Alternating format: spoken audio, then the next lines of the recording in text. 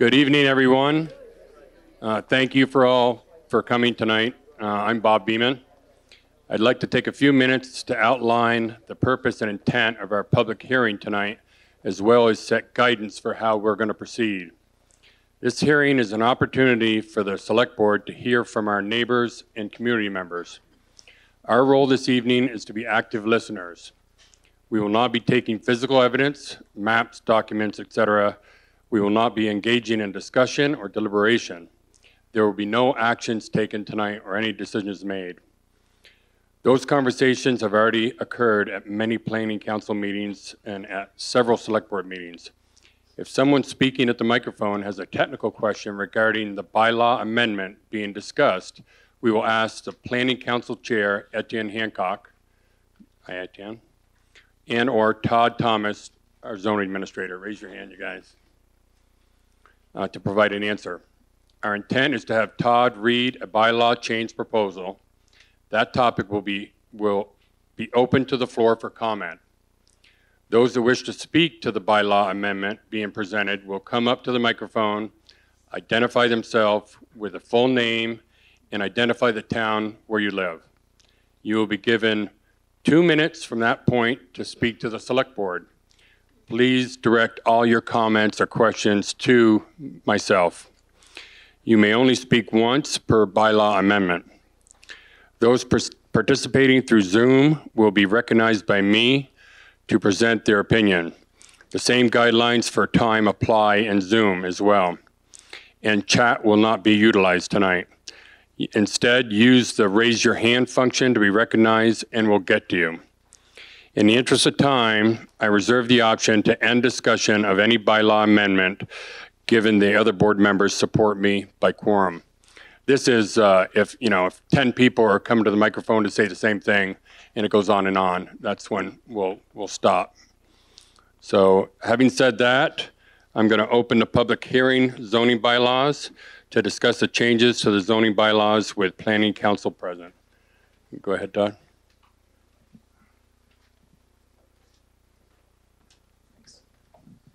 Everyone hear me okay?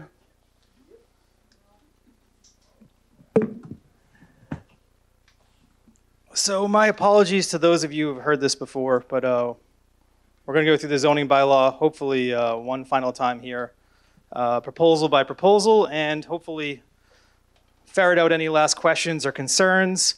I'm going to pause for comments at the end of each section. So right on that page you have, you'll see it starts with section 201. That's what we're going to start with, and I'm going to go right down the line for each zoning bylaw change as proposed. So, without further ado, section 201, uh, the planning council has agreed to add detail and edit boundary line description language uh, to give some background on that. Uh, zoning boundary lines often split lots, uh, split sections of town, and when there's a question as to what a property does it lie in zone A or zone B, this gives better detail as to where the DRB should look to make that interpretation. And generally, this language is being strengthened so the boundary line description follows natural features, rivers uh, and ravines, th- things like that. Any questions on section 201? Sure. I just wanted to remind folks that if you want to go on record as being here tonight, you need to sign um, the uh, sign-in sheet in the back of the room, with all the materials and everything back there. Uh, Please do that. And, um, that's it. Go ahead, Tom. Okay. So, any questions on section 201? Pretty straightforward, just clarifying existing language and strengthening existing language. All right, going, going, sold, gone. Uh, section 204.4, the, Ron? Yes. You didn't let me tell you what it was first. Ron Stankliff. As proposed, uh, the DRB may reduce up to twenty-five percent of any dimensional or numerical requirement, provided the waiver request can be found to meet at least the two following goals. What I don't like about it, number one, is the twenty-five percent. The, uh, for since the beginning of time of the zoning, which was in the 1970s, it was 15%. And then due to some circumstances on Maple Street about two years ago, the select board, the previous one to the board now, changed it to twenty-five percent. What's bad in doing this is that twenty-five percent applies to the whole damn town and not just Maple Street. I'd like it go back to fifteen percent or even lower. The other thing is, the way it says any dimensional or numerical can be waived. And I think it should ex- exclude lot size, building height, access right away, and minimum areas per family from waiver consideration. Thank you. Any other comments on section 204.4? So currently, 204.4 is written as a list of things that DRB can waive, and the language is simplifying it, basically allowing the DRB to waive any dimensional numerical requirements. So there's not a question if it's on the list, can the DRB waive it or not waive it? So the intent is to give the DRB the discretion of the proposed zoning bylaw change. And to, to Mr. Stancliff's comments, the waiver percentage, 25%, there's no warrant change here. The select board changed that a few years back, so that's not something we can change as part of the zoning update. Yes? Nancy? Uh, Nancy Banks, Elmore Mountain Road. Uh, question I have is, does that preclude them from putting conditions on the approval? It doesn't, well, sorry, that was loud. It does not. So, under current statute and as proposed, the Development Review Board does have the ability to put conditions on, understanding, of course, that a developer could choose to go to court and say, we challenge those conditions, but they have the right to put conditions. Yes, I've actually never, that's correct. I've never seen the DRB not condition a waiver. They're always conditioned. Okay.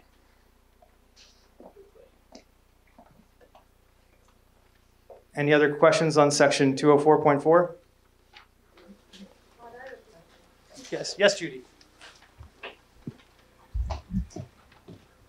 I understand dimensional, but I don't understand numerical, numerical. The way the the zoning bylaw is written, it's just to be as obtuse as possible to say any dimensional and numerical uh, requirement that's proposed. So there was a question of, I think it was lot size a few years ago, and the DRB, it's not named in there. Can we can we waive lot size? The intent is the DRB can waive 25% of any zoning requirement. So it's it's maybe wordier than it needs to be, but it's meant to be all encompassing. That's umbrella language, pretty much. If that makes sense. You're welcome. David Ring. I'd like to address the board.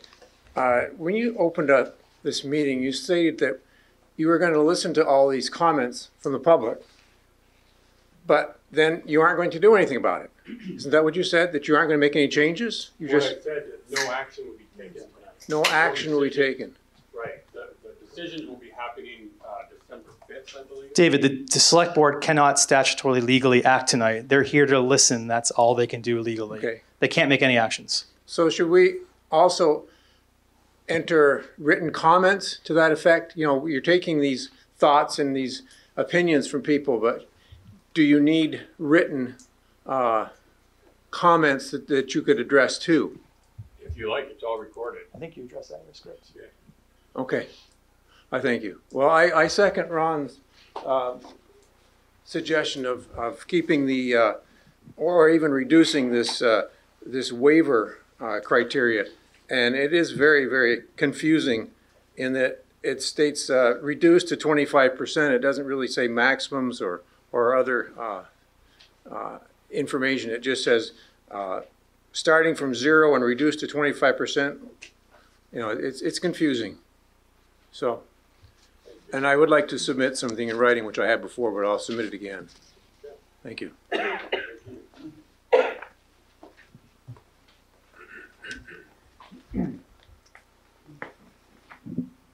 Kevin Lane, Bud City Loop. Did I hear that it's gone from 15 to 25%? That is correct. That happened maybe five years ago. And that it was the select board that changed it from 15 to 25? That is correct. So that makes me wonder who the plan, who's in charge of planning? The select board and trustees are. Planning in Vermont has no statutory power. Uh, they formulate proposals, and it goes to the select board and trustees for approval. For the waiver percentage in question, the planning council voted no. The select board overrode the planning council and changed the waiver. Okay, thank you for So clarifying the- that. The buck stops at this board and the, this board for the town, the village trustees for the village. They need to act in unison together to change zoning. All right, thank you. You're welcome. And then what's the purpose of the development review board? If you have the planning commission on one hand, and you have the trustees. David, you've already spoken on this issue. Sorry. Any other comments on section 204.4? Yes, I, I, I, I have a question. I'd like to, uh, Bob Bortry, I live on Randolph Road in Morrisville, and I, I'd like that question answered. Uh, what is the purpose of the Development Review Board if what they propose has no teeth? I I don't understand the question, I'm sorry. I think we find that, um, Probably ninety-five percent of the time, we go along with whatever they give us for their recommendation, whether, whether it's a planning board or any board, the DRB. There's also a lot of things, you know, state mandates that we can't control, can't either. But most of the time, we go along with what they recommend to us. If, uh, if we don't, it's, that's an anomaly, it's not, not very often. Mr. Bortry, structurally, the, the planning council proposes the rules. The select board and the village trustees have to approve them. Once they're approved for a large project, the development review board works with the developer to interpret them and approve the projects. So planning starts to write the rules, to, to, uh, drafts the rules, the select board and trustees approve the rules. The DRB is a totally separate board that approves large projects. So my understanding then is their two and a half or two and a quarter years worth of work is sitting in front of everybody right now. Correct. That is going to be voted on no December 5th or thereabouts. So my question is, you could strip out parts of that and the, the village trustees could strip out parts of that and what are we left with? I, I guess, It, it could happen. The select board is, and the trustees are, they, they punch the ticket here. They're the ultimate approval authority. Generally, as Bob said, the select board does, I would say ninety percent of the time, approve what's proposed. They do tend to strip things out, at least generally once a zoning bylaw, but it's one part of a much larger package that gets stripped out. So it's, uh, generally pretty minor, or the majority of proposals get approved. Only a few things don't make it to the final approval table. I've only seen, I- I've been on the board fifteen years, and I've only seen less than, less than five times that we have not gone with what was recommended to us. Very, very rarely. I think you could also say that. can, can I make one follow-up question regarding that? So my understanding is that it has to be approved by the trustees and the select board. So what, so this comes down to a negotiated settlement, so to speak, of the proposal in front of you, so the trustees don't like part of it, you don't like part of it. Uh, how does that get resolved? That's true. That's very true. And sometimes, sometimes I don't like it, sometimes the trustees don't like it, but kind of like you, we do have to negotiate between the trustees and, and our board. I've never liked that about the process, but that's the way it is because it has to be decided between the trustees and the select board. So you're definitely right about that, Bob. because we're still Morrisville and Morristown, it's a two-part approval process. The trustees have the control zoning in the village, the select board controls zoning in the town. However, we have a joint zoning bylaw, so if one board objects to, even the trustees can object to the town, or the select board can object to the village, if there's not that compromise language that gets through, none of it passes. Both boards have to approve the language exactly the same for it to be in our Morrisville, Morristown zoning bylaw. It only gets simpler if we become one town and further merge, which is not on the agenda tonight. Uh, My name's Tom Cludier. I just have one question. If all this is gonna have to be approved, what you got here, why are we here? You're gonna just hear us talk and nothing's gonna, what we say seems like it's not gonna matter. It's what you guys, and then if you don't like it or do like it, it doesn't matter if the trustees don't like it. What are we doing here? Most, most of the time, Bob, you need- the feedback. You need the microphone. Yeah. They can't hear you. Yeah, most of the time, when, when um, people come and they give us their opinion, we take that opinion. And, and that is most of the time when we might make a decision that's not recommended to us by the planning council or the DRB. And I know it's the same way with the trustees, In you your know, fifteen years, how many times have you done that? Changed it? not very many, That's what I'm getting not at. very many. Thank you. Um, to the question about submitting um, written um, opinions, um, in my experience, when we were all looking at the town plan, which was my only other experience with a hearing like this, um, I did listen really closely to um, people who spoke up and um, people who um, emailed um, their um, just in a nutshell, like a few sentences, what they were proposing or what they were worried about. It was much easier to look back later. I take copious notes, and it is important to me that I am representing um, the people of um, Morristown and Morrisville um, who did elect me as an elected official. So I want to let you know that I am listening and um, taking what you're saying to heart. And I think the reason that we're not making decisions tonight is so that we can actually deliberate. I mean, that's the idea. I'm going to move on to section 204.5A. If we're getting pretty far away from the waiver question, if that's okay with everyone. So section 204.5A, we're doing a very simple revision of the use matrix to clarify the special industrial use, which is kind of the agricultural, I mean, the uh, ag use, ag being aggregate, not agriculture, uh, on the Wolcott side of Garfield Road, and making a small change. So site plan approvals go through go through uh, site plan approval for large projects instead of conditional use. So it's just a uh, structural change for how the DRB approves large projects. So pretty minor revision there. Any questions on this? Yes, Judy. Hold on, get the top of the mic. I'll get my steps in. Ron Stankliff again? Uh, hold on, Ron. Hold Um, I think I understand what the P means in the, um, in the grid, in the matrix. I'm not quite sure if I know what the C means. So- Propo- Permitted in. Conditional. Yes, so when you look at the matrix, if you're gonna build a garage or a single-family home, those are generally things I approve. I approve smaller projects, sometimes bigger things downtown, but generally small projects. In the matrix, the C is conditional, means it goes to the DRB for review. So that's the difference between the P and the Z. P means simple permit, you come to the zoning administrator, he or she gives you a permit, you stick the P sign on your fence, and your neighbors have 15 days to appeal.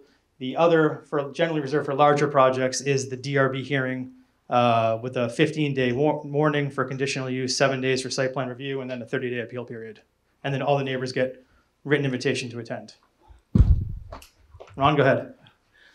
I guess I don't understand what is meant by larger projects when rural residential is a two acre minimum. And now by adding a conditional use, it sounds like we're getting away from what the rural residential area is. And I don't believe just because that's a particular area of special um, zone, is that now it could apply for the rural area in the rest of the whole town, which the most, most of the town is rural residential agricultural. To me, it looks like there's already some kind of planning going on up there for large projects that hasn't even, well, down the road is going to get before the DRB. Anyway, I believe I would like that conditional use struck and we stay with the original planning, original zoning. Thank you. Oh, sorry.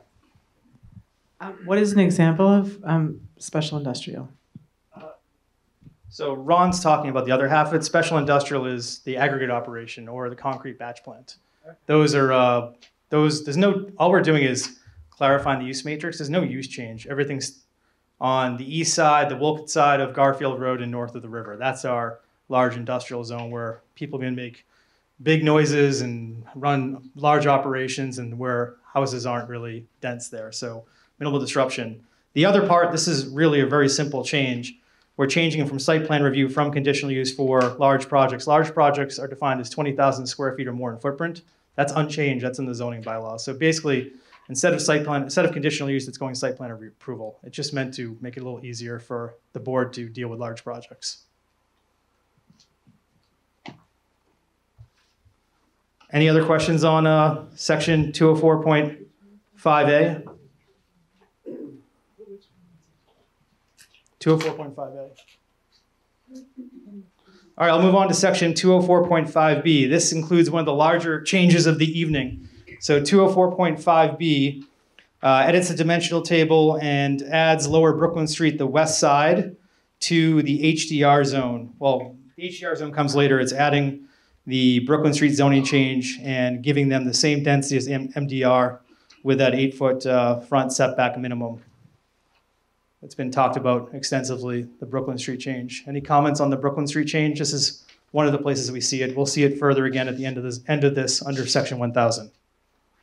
Hi, Jennifer Faith, uh, Brooklyn Street property owner, who is has been adversely affected by a change that, to my understanding, was made by the select board four or five years ago, when um, many of the or several of the properties, including mine, is now non-conforming. Um, we are in um, multifamily area, and at some point it was changed several years ago to my with my understanding to single family. I am now trying to sell our property.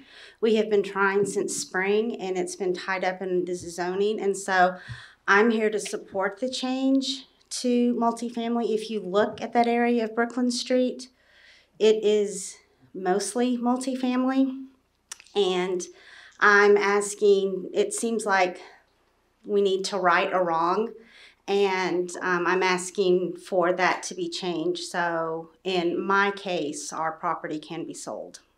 Thank you.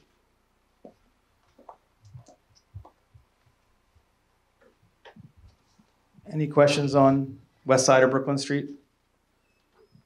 No? I feel like this one's pretty well understood by now.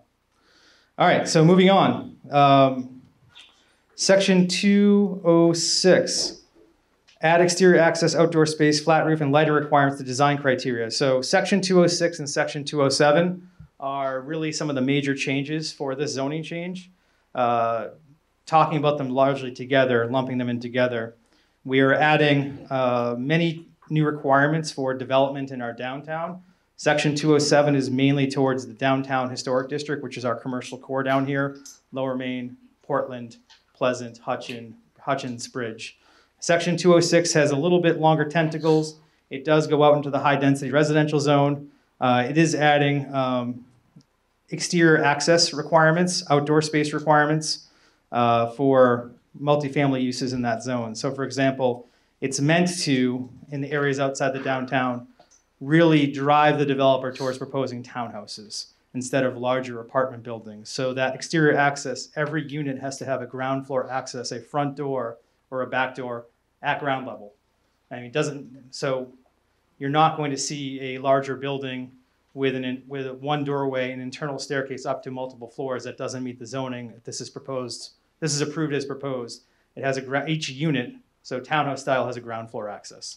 That's the main part. Also, we're adding in for the first time on section 206, outdoor space. Uh, I believe every unit has to have 24 square feet of outdoor space per unit. We don't have that right now. Yes. Uh, Leah Bronner, Jersey Way. Um, I appreciate the outdoor space, outside space, and I would really um, encourage the select board to be thinking about the quality of life for people in um, very high buildings. Um, exterior access just makes it a lot easier, having lived in different kinds of condos, high rise, and how difficult it is to um, just get fresh air. So um, um, thank you for doing that. Thank you, Leah. Any other questions on section 206? Bob? Yes. I'm, I'm wondering how, maybe this is not the right section that is, this is discussed in, but um, I'm wondering how parking is being dealt with. Um, There's, there's no parking changes planned tonight, so parking overall is Okay, is, so this is not on the, uh, I'll give you the 10-second recap, though. Happy to.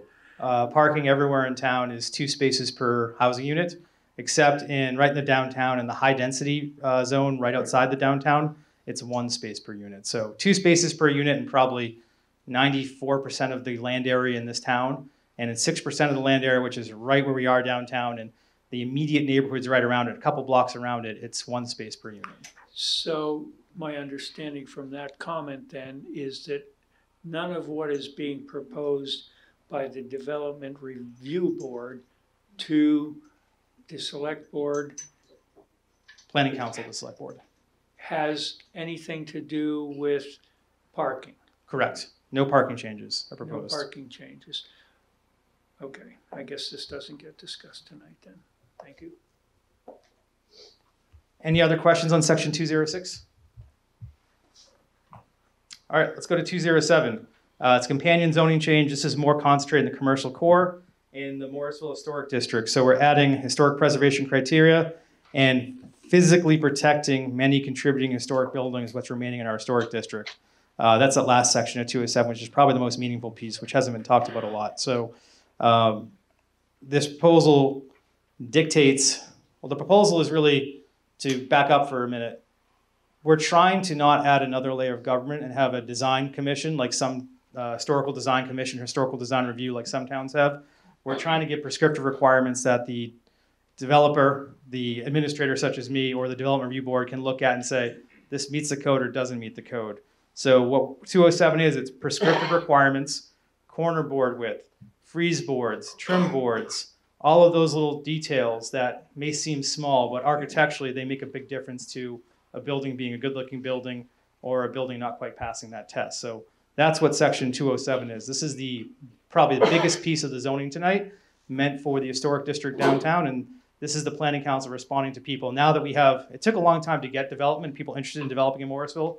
Now that we have that, we're turning up the simmer a bit on the oven to make sure the buildings we're getting downtown really look good and have a long-term lasting value and really add to the fabric of our built environment as opposed to uh, not or even detracting from that. So that's the main section, main part of 207. Nancy, go ahead. Yeah, um, I just have a question. Um, oh, I'm sorry, Nancy Banks, eight ninety Elmore Mountain Road.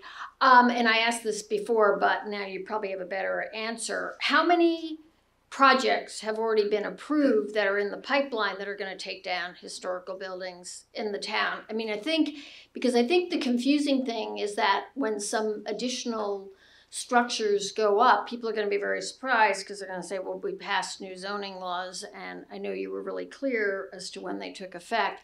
So my question is, how many are in the pipeline and is there a, sunset clause on those uh, projects that have been approved? The pipeline's pretty short.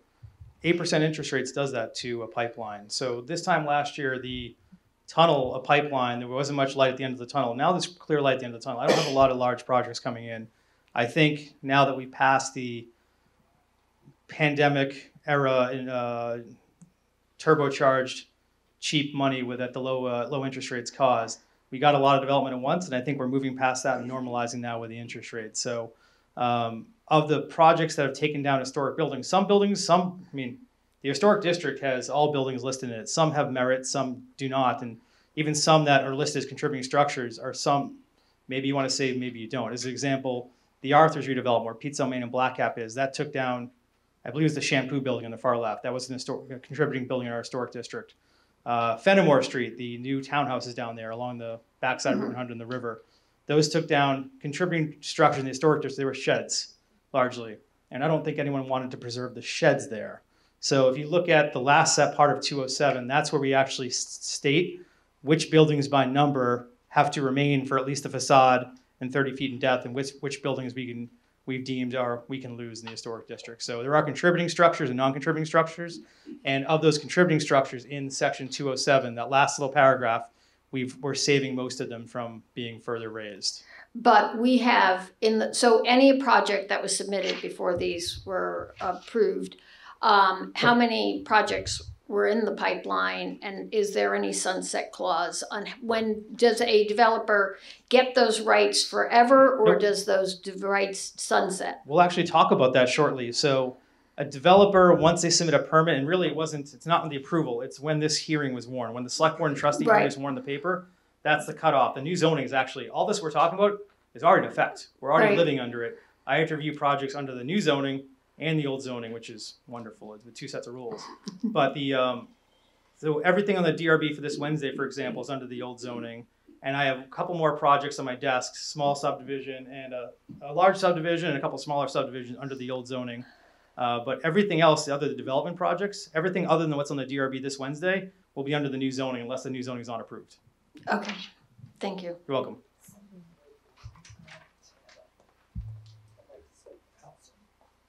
Okay, how's that look? You come to the microphone if you want to speak, sir. Oh, Tyler on the Tyler and Zoom, please feel free to voice your question, or opinion. You guys hear me all right? Yep. Can you hear me all right? Yeah, yes, sorry. Yeah. Just waiting for the question. Um, quick question was, uh, would the Development Review Board or you be able to waive any of the, uh, requirements in the historic, uh, in the historic downtown district? Is there a process for that, or what would that look like? That is a good technical question. I have to look at, Etienne, you off the top of your head? Wait, what is the DRB allowed to waive in section two oh seven? I don't think much. Uh, let's see. Under section two oh seven I, other than the waiver specified under section two oh seven point three C for preferred building materials, the zoning administrator and DRB shall not waive any of the te- section two oh seven point three requirements unless it is specifically needed for the rehab of a certified rehabilitation of the U.S. Secretary of Interior Standards for Rehabilitation as regulated by the National Park Service 30 CFR 67, Vermont Division of Historic Preservation. The owner must produce the re- historic re- rehabilitation plan, the approval letter from the noted agencies requiring the use of any non-conforming materials or features. So basically, other than the, the facade materials, uh, the types of uh, types of clapboards or maybe trim or materials or material choices, the DRB can't waive much of there unless it's really called out by the Department of the Interior, the federal government for the rehab of a certified historic building. So it's pretty strict. Sir, I see you waving there. Can you come to the microphone, please? As I instructed earlier, you come to the microphone, introduce yourself, where you're I'm. Al Morrison. I live on Audie Lane. What is your criteria now for determining a historic structure? And the reason I ask is they recently knocked down an older house on Route 100, almost across from our road, and they put up a 16 unit apartment house where that plus another one in the back where that house set. Now, I don't know whether that's classified as a whole, as a historic structure under your criteria, but is it was one of the older buildings. It is not. The the the section area. 207 requirements are really just the core of downtown, the commercial core.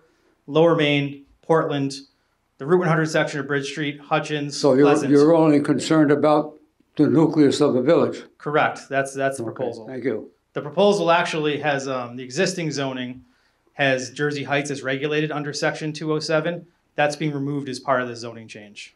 Thank you. You're welcome.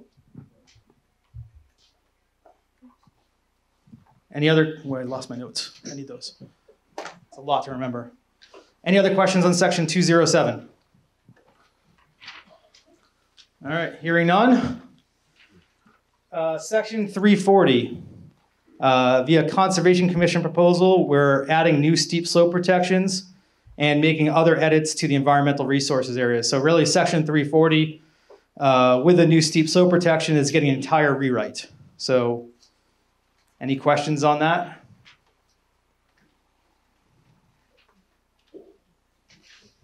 Go ahead.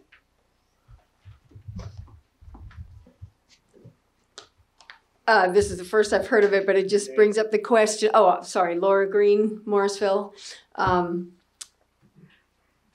how does that affect some of the new proposed buildings, like uh, where Cheney's house was? That nine unit or whatever, you know, that's right on a, It doesn't affect anything in the uh, already under, already been permitted or applied for. So Mhm. a developer who submits their uh, permit application prior to his zoning change being warned uh, is grandfathered under the old rules. So it doesn't affect anything. But this has, the steep slopes has wide impacts all over town. Uh, The, uh, the impacts, I have to go read them off the top of my, I can't do them off the top of my head.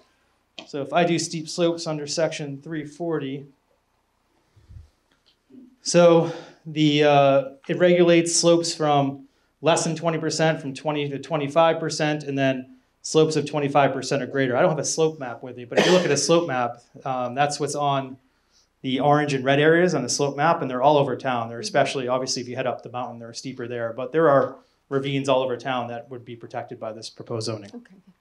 Thank you. You're welcome. And the zoning, this change was edited by the planning council. It used to regulate private driveways and utility infrastructure, and that, those two sections were stripped out before this proposal became, came to the select board and trustees for approval. Oh, other one. I keep doing that. Yeah, exactly. Any other questions on steep slopes? Speak now or hold your peace on that one. Thank you. All right, moving on. Section 402 point fun. 402.1, not fun. Um, it's for- Sure, go ahead. Um, can you speak to how um, the the steep slopes change um, uh, dovetails with changes we made to the town plan? Because I know that was a, a big question, a big ask on the part of um, the Morristown Conservation. It's largely uh, the next step is the town plan. So we've never had steep slope regulations before. And the town plan suggest that was approved back in May. I think it's May or April. Uh, suggested we could do that. You can't have zoning unless it's in the town plan. So the town plan sets the foundation. This is us building that house uh, around our steep slope regulation. So we're regulating slopes for the first time.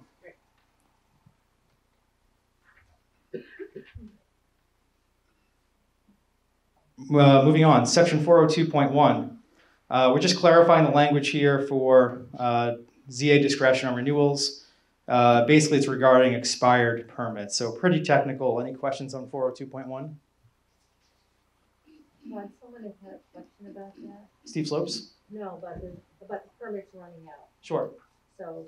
Yeah, so any permit, um, whether it's a, a backyard shed, a new house, or a new downtown building, they're good for two years and can be extended for eight more years. So um, that's at the discretion. If, for example, let's say a permit under the old zoning is allowed to expire, the developer lets it expire, and I'm not going to renew that permit if the new zoning is going to require changes from it. So if they have a permit and they get it under the old pre 207, let's say it's on Hutchins Street, or let's say it's on Pleasant Street. We're on Pleasant Street now. Uh, if they apply under the old zoning, and there's nothing applied on Pleasant Street under the old zoning, uh, that's actually that's not true. Next door is. So just hypothetically, Pleasant Street. If there's something under Pleasant Street under the uh, a permit, they let it expire. I will not renew the permit. I'll make them reapply so they fall under the new zoning. But otherwise, if there's no change, it doesn't. It's not a good use of the applicant's time or my time, which is taxpayer time, to renew the permit process for the same permit to do it over again. So I'll generally renew a permit unless there's a major zoning change that would give me pause on doing so. And I can always send it to the DRB, which I've done before. Any other questions on 402.1? I'm going to move to 40, section 405. End harsher treatment of zoning for corner, corner lots and clarifying waiver allowance. So right now, if you have a corner lot, you basically get uh, double taxation, I like to call it. You're not, it's not talking about taxes, but the front setback is usually your most onerous setback. If you're a corner lot, you have two front setbacks right now. So there was a the, the, the onus for this change came on for a lot on the corner of James Way and Hool Avenue. Uh, the Hool Avenue property has been there for many years. It's a World War II era uh, ranch style home. And James Road, which is the road to Green Mountain Sports Services and something else down there, Green Mountain, and uh, the school, the East Meadow School. That road came in after that. So these people had a lot that wasn't a corner lot. New road comes in, and suddenly they lose their ability to use their side yard because they have a new front setback. Because the side setbacks in that zone are 10 feet, but the front setbacks are 50 feet from the center line of the road. So suddenly they lost a chunk of their yard and they couldn't uh, they had a hard time building a garage there under, uh, without the zoning change. So this will give people back the use of their land on corner lots. So they'll still have to meet the, like everyone else does, we all have a front setback, we meet the front setback. This will make sure people don't get two front setbacks.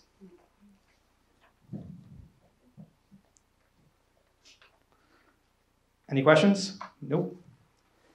Uh, Section 415, remove measurement of yard area from home business allowance. So uh, the, the genesis of this change came from a home business for uh, doggy daycare. I believe it was down on Fitzgerald Road. And the DRB was unsure if the fenced-in area the dogs ran in would count against the sec, the 25% requirement. So this clarifies that where we don't have to stick the dogs in a tiny area to meet the 25%. A yard, if, if it's a yard, is not part of the home business calculation. It's really about structures. It's not about yard area. The question on this one was, is it yard area because it was fenced in? So the DRB decided to actually include the yard area so the dogs have a smaller run than they probably should. This will fix that going forward. Come on up. Come on up, Al. Al Morrison again. When you say remove measurement of yard area from a home business allowance, a home business, is there a spe- specific home business allowances, home businesses that are allowed, or is any home business allowed? It's any home business. So the analogy I like to give people explaining this Okay. is there's a home occupation, a home business. Let's say I make wicked good cookies and my So, cook, so maybe I'm not reading this correctly, but this would say that you could, you could have your home business boarding right up to my line? That can happen now, yes. Right. So if you've got a home business that makes a mess of your, your yard, you can make a mess right up to my property line and I can't do anything about it. Well, there's still a setback, so they can't build structures in the setback. All this is basically saying Okay, is so if you, any home business still ha- has to meet the setback requirements for structures, in that zone? Yes. Thank you. Okay. Uh, to explain what I was trying to explain real quickly is, uh, if I make really good cookies as a home occupation, let's say I use my kitchen at my house, and I package the cookies up, they're sold off-site. They're sold to Hannaford's, they're sold to Price Chopper. Uh, that's a home occupation. I'm using a portion of my home for a business, but no business is being conducted there. That's a home occupation. A home business is the more intense use of residentially zoned private property for business use. So my cookies are amazing. They're the greatest cookies in the world. Uh, but, and so people are lining up in my house. I'm selling them out the window. People can't get enough of them. And because of that, it's creating traffic in a residential neighborhood and business is being conducted in a residential neighborhood. That's a home business. So home occupation is generally allowed by right. A home business goes to the zoning board for approval and they have to make sure that even though my cookies are really good and people want them all the time, they, the DRB will set reasonable hours of operation, 8 a.m. to so 6 p.m. Monday through Friday, 9 to 2 on Saturday, generally no Sundays. So that's the higher use is the home business use. And this is just saying what counts under a home business for the 25%, what doesn't. The 25%, to get at the larger explanation, is the section of your property that can be used for a home business. So if I have a 2,000 square foot house, uh, let's say I don't have any barn, I don't have a garage, I just have a house, I can only have 25% of that for a home business, so 500 square feet. So it's a pretty small home business. So my cookies is gonna, my cookie shop, if it's not in my house, is gonna be a little shed out in the backyard. I'm limited by my house size. I can't be more than 25% of my house size. But this would basically say for the dog kennel business, the dog kennel itself has to be 25%, but we can let the dogs run the yard greater than 25%. Their dogs let them run. That was the change the DRB made. So the DRB was trying to say, well, it says 25%, has to be the dog kennel, and the yard has to be less than 25%. So the poor dog's only got this tiny little kennel that's 500 square feet when there's plenty of yard to run in. That's all we're trying to change here. Yes, hi. Mariah Stokes, Sterling Valley Road. Um, as you were giving that beautiful analogy, Todd, my mind floated to a place that I haven't been able to find where it's going to be discussed. So I'm just going to kind of edge that in there for a minute.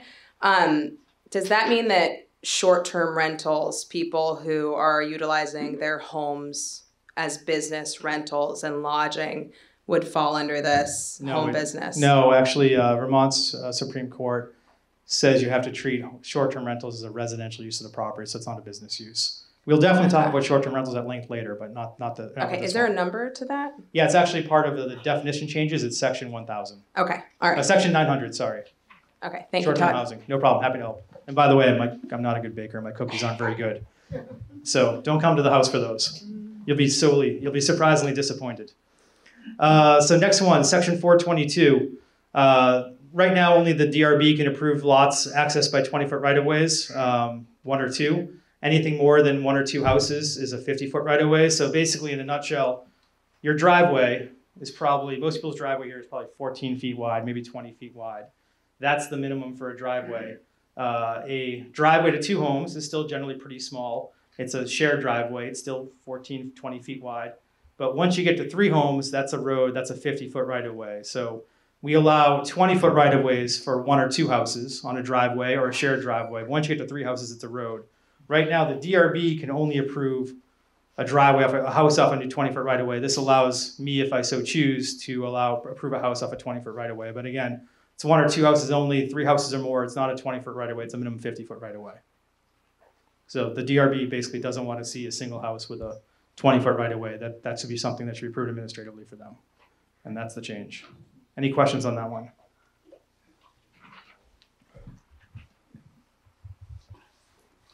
Ron Stankliff again. Uh, I guess I would like to know how you would treat a multifamily building with 20 units in it, um, as far as the right-of-way is concerned. Generally, anything, uh, any large multifamilies is going to trigger conditional use and it go to the DRB regardless. So it's going to go to the DRB. Any other questions on that?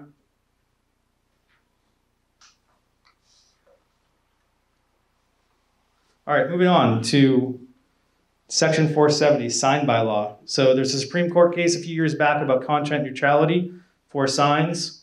I'm the person who enforces all the sign regulations in town for the businesses, all the lawn signs you see all over town. And yes, that was me parked in the roundabout at the top of Route 108, picking signs out of the roundabout that aren't supposed to be there.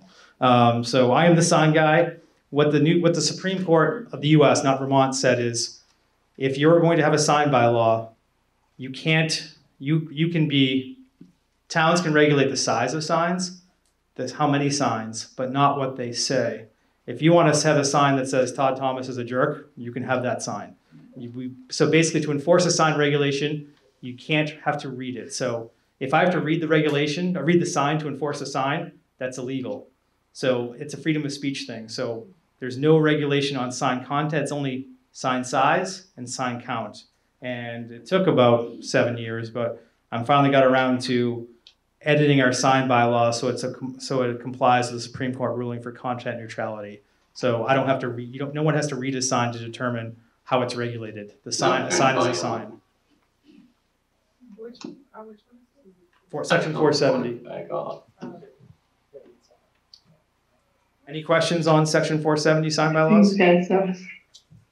Huh? See, you had me up. Come on up. I saw a question from the audience.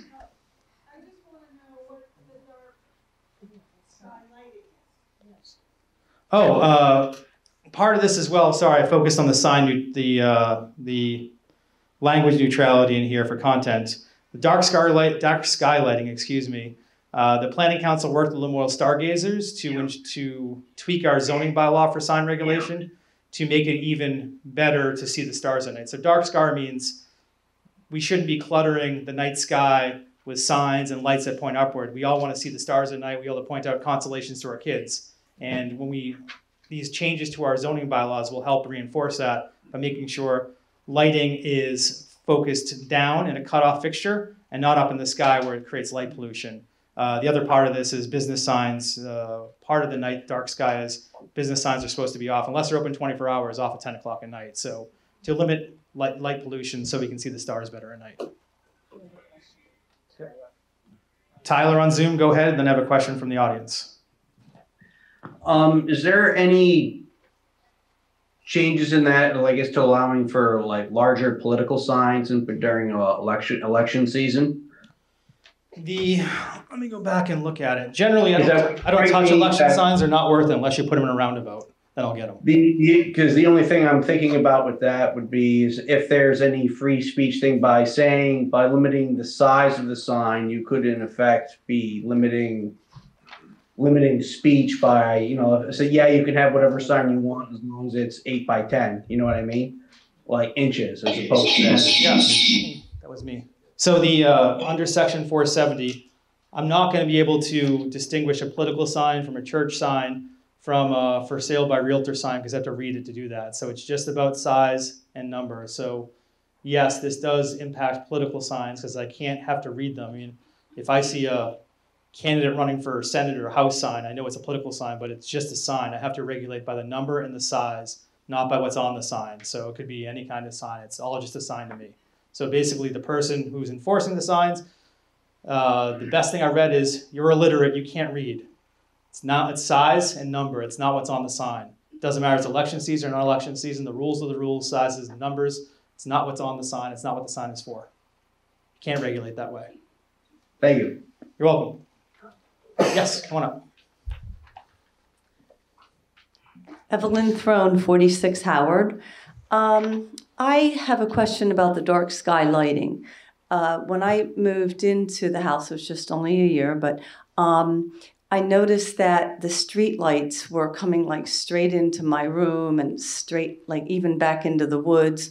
Um, I talked to the light, the electric company, and they said that um, they would hood the light if I wanted. But my question is if if the lights in the town are not hooded and they're going obviously if they're not hooded they're going upwards how is that affected by this and i'm i think it's really a shame that there's it does affect our ability to see the sky The street lights are exempt from zoning, so it's exempt in the zoning bylaw. It is an improvement over recent years. There used to be metal halide lights, I believe, and those went up and everywhere and create quite a glow. And the town actually paid the village, uh, Morrisville Water and Light, to switch over to LEDs for all our lights. Probably about seven years ago now. And at least those aren't going straight up. Those go out everywhere, but they don't go up. But yes, in theory, to be more dark sky compliant, it won't be through this regulation because we don't regulate street lights in here. That's been there. It's not changed. Uh, those all those lights should be housed so they're directed down in a cutoff fixture. Cutoff fixture basically means if I'm looking at a light over where the camera is, that light source should be shielded by the structure of the light. I shouldn't be able to see the light bulb. That's what a cutoff fixture is. But yes, our street lights are better than they used to be, but they're still not totally dark sky compliant. I agree with you. But unfortunately, what's in there tonight won't help. But if you come to the trustee hearing next week, we do this all over again Wednesday. I'm here every week. Uh, we can discuss that with the trustees. It's not part of the zoning, obviously, but I'm sure if they hear from enough customers that they don't want streetlights in their windows, and I'd be one of them, maybe they'll make a change on that one. Thank you for the comment. Um, Is there a reason why um, there's not a setback re- requirement for signs? Uh, most, no, uh, most signs are out by the side of a road for like a business sign or even a political sign. If you had a front setback requirement, pretty much every sign in town would be illegal. Yeah, that would be an issue. It's usually like 25 feet from the center of the road. Correct, yes. Yeah, Yeah. but we don't have a requirement. No, not for signs, no. Okay, any signs? Nope. Okay. Any other questions on signs? Going once, going twice? Section four eighty-two, we're modifying new conditional use for class four roads for, in- to allow for infill development. So this is a new zoning bylaw from a couple years ago where we're trying not to extend our residential homes and infrastructure into the hinterlands of the town. We're trying to be as concentric to the village as possible. So what the zoning bylaw basically says, if you're on a class four road and you're gonna build a new house, it's not something that ZR, the ZA, me, the zoning administrator, or she, whoever it should be in the future, I won't be here forever, uh, can approve, has to to the DRB. And the intent here was extensions of roads go to the DRB because every time a ambulance, we generally have one running ambulance, sometimes there's two, but there's one ambulance crew, and if they have to go all the way up to an extension of Rooney Road, if I'm here in Pleasant Street, they're 20 minutes away, 25 minutes away, depending on the weather. The intention is to not strain our infrastructure, have plows out further, ambulances out further, fire trucks out further. What this does is just modifies the condition. Right now, basically, it says if you have a house on a class four road, go to the DRB. If there's uh, what this basically does is allows for infill. So let's say there's a house way on a class four road, and you're building a house closer. no big deal. The houses are, we're already serving infrastructure further out. It just clarifies, we don't want extensions of our infrastructure further out. But if you're doing an infill house on a class four road somewhere else and this house is further out on the class four road, you're okay, you can get an administrative permit. Yes, Bob, come on up. Yes, uh, Bob Bortree again, uh, Randolph Road. So my understanding is if, let's say a developer has two hundred acres out on a class four road, can that developer petition the town to take that road over? To- In other words, to. Yes, they could. To upgrade that road, they They- could petition the town. to They do always that. can, yes. It's not part of the zoning, that's a, per the select board thing. The zoning has a, a thing in there where they go to the DRB just so we can pay special attention, say, hey, this is an extension of a class four road. Before we stick houses further out in the hinterlands, is this a good idea? But the road itself is a select board consideration. The select board has the full purview over roads and how they're maintained. So generally, a zoning administrator permit or a DRB permit would say a road has to meet either private road standards, which are 16 feet wide, or the town road standards, which are a little fuzzy right now, 20 feet wide plus two foot shoulders. Um, if they if they chose that development on 100 acres in the class four road, chose to upgrade the road with the select board's permission to 20 foot wide with two foot shoulders, they could petition the select board to take over the road and start plowing and maintaining it. Yes, So the. but it's their vote. So the developer would have to do the upgrade to the road, Correct. okay, and then petition the town to take it over. Correct. And they could say yes or no. Okay, thank you. It's up to the board at that time. I haven't had many developments in recent years where they're building to town road standards. Most developments I've seen recently, not all, but the majority built to private road standards, which is 16 feet wide. That's a typical development width for a new road. Come on up. Hello, uh, JT Vise, uh, Ward Pond Road. Um, with the class four road, is um, that considered, can a class four road be considered privately owned?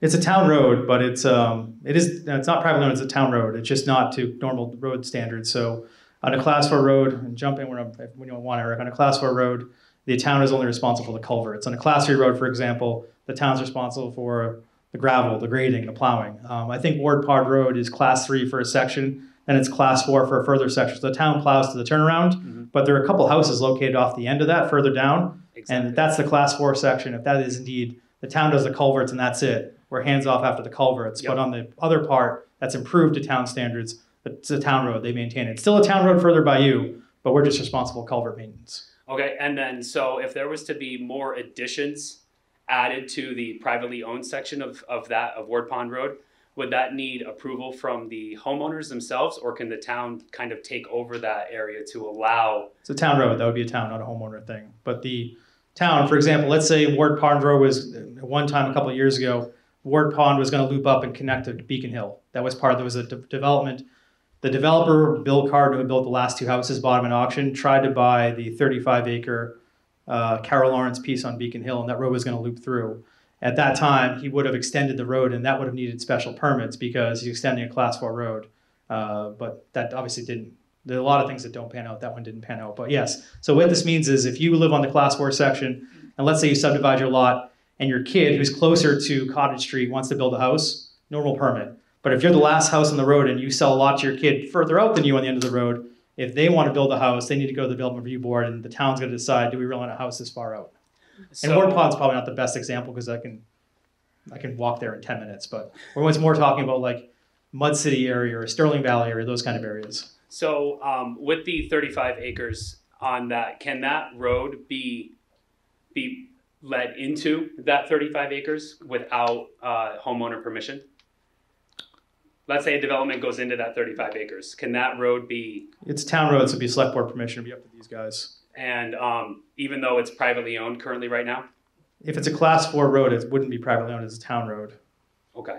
Like, So, Eric, you so want- that I guess that, that question that you just said that that the original idea was to loop that into Beacon Hill. That can Cor- still happen. That could still happen, yes. I think that, I think that idea has come and gone because they built houses there where the connection would have been. Okay. And I don't think that's planned. I actually have that, um, the development of that thirty-five acres is a, uh, I have it on the next DRB. So it didn't make the November DRB agenda, but it's, uh, it's gonna be on the December DRB or January DRB agenda, whenever the next meeting. So there are, the only thing that's proposed right now are nine houses on two roads out there on that thirty-five acres.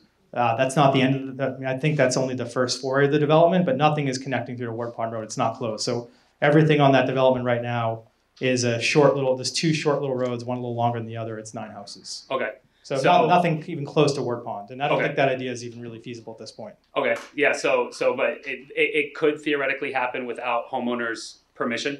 Yes, the, I think the Okay. best way to do that, if you don't want your road to be a class road, you want to be a private road, you ask the town to throw up the road. And the town may choose to do that, they may not choose to do that. Sometimes they downgrade it to a trail, they can discontinue the road altogether, then it would revert back to the homeowners, then it would be your decision to block someone or not block someone who's trying to lengthen your road. Okay. Uh, but that's a different kettle of fish in the zoning change, tonight, obviously. Yeah, because right now we, we pay for the maintenance of the road, of that section of Yep. the road that we live on. Yep. We were just concerned about the extension of that into that property past our house. It's, it's still possible. So Okay. right now, what all this, the zoning change does is, if you're gonna be the last house, a new house and road is proposed further out than the ones now, that needs a special permit in front of the DRB. Okay. To make sure we really wanna be going out that far, but none of this relates to that road looping to Beacon Hill. Uh, those guys are in the room tonight, if you want to talk to them, you can find them at the end of the meeting. the And, developers uh, would, would, would we, would homeowners be notified? Uh, yes, it'd be a DRB hearing, so. Okay. Um, there- again, there's no proposal, I brought this up an example, maybe it's a bad example, obviously. Uh, but I think you were getting at the same Yeah. thing anyway, Yeah. we're speaking I the was same just- language yeah. here. Uh, there's no proposal to loop that road to Ward Pond whatsoever. The Okay. proposal, you can come look at it in my office tomorrow. It's a short little, it's two little, short little dead end cul-de-sac roads that are probably no more, top of my head, five hundred feet from, from, uh, Cottage Street, maybe seven hundred feet at most. It doesn't come close to the end of Ward Pond. Ward Okay. Pond from, Ward Pond from Beacon Hill is probably a good twenty-five hundred feet maybe.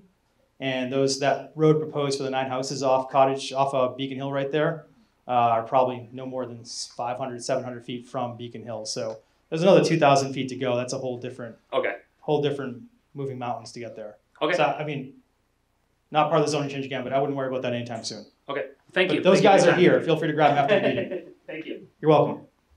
Any other questions on, what, am- what am I on again? My God. 482, thank you. Any other questions on 482? I thought that was gonna be an easy one. Uh, section 484, uh, edit gas station rules to clarify front setback. So basically, uh, it was unclear what the front setback were for gas stations. Uh, we don't allow new gas stations in town, haven't for many years now. Uh, this is basically only gonna be used for the redevelopment of existing gas stations and all our existing gas stations got redeveloped within the last couple of years, except maybe the Citgo out on 15. So this probably uh, won't be used anytime soon, but it just clarifies that front setback requirement. Todd, why don't we allow gas Do you want Lee to come up? Lee Lebeer asked why we don't allow gas stations. Uh, the planning council decided to take that out a bunch of years ago. Uh, we don't allow new gas stations. Um, the McMahon's property sitting vacant is one of the reasons we don't allow gas stations. That's there, so it's that's being rented by a gas station company to keep it vacant.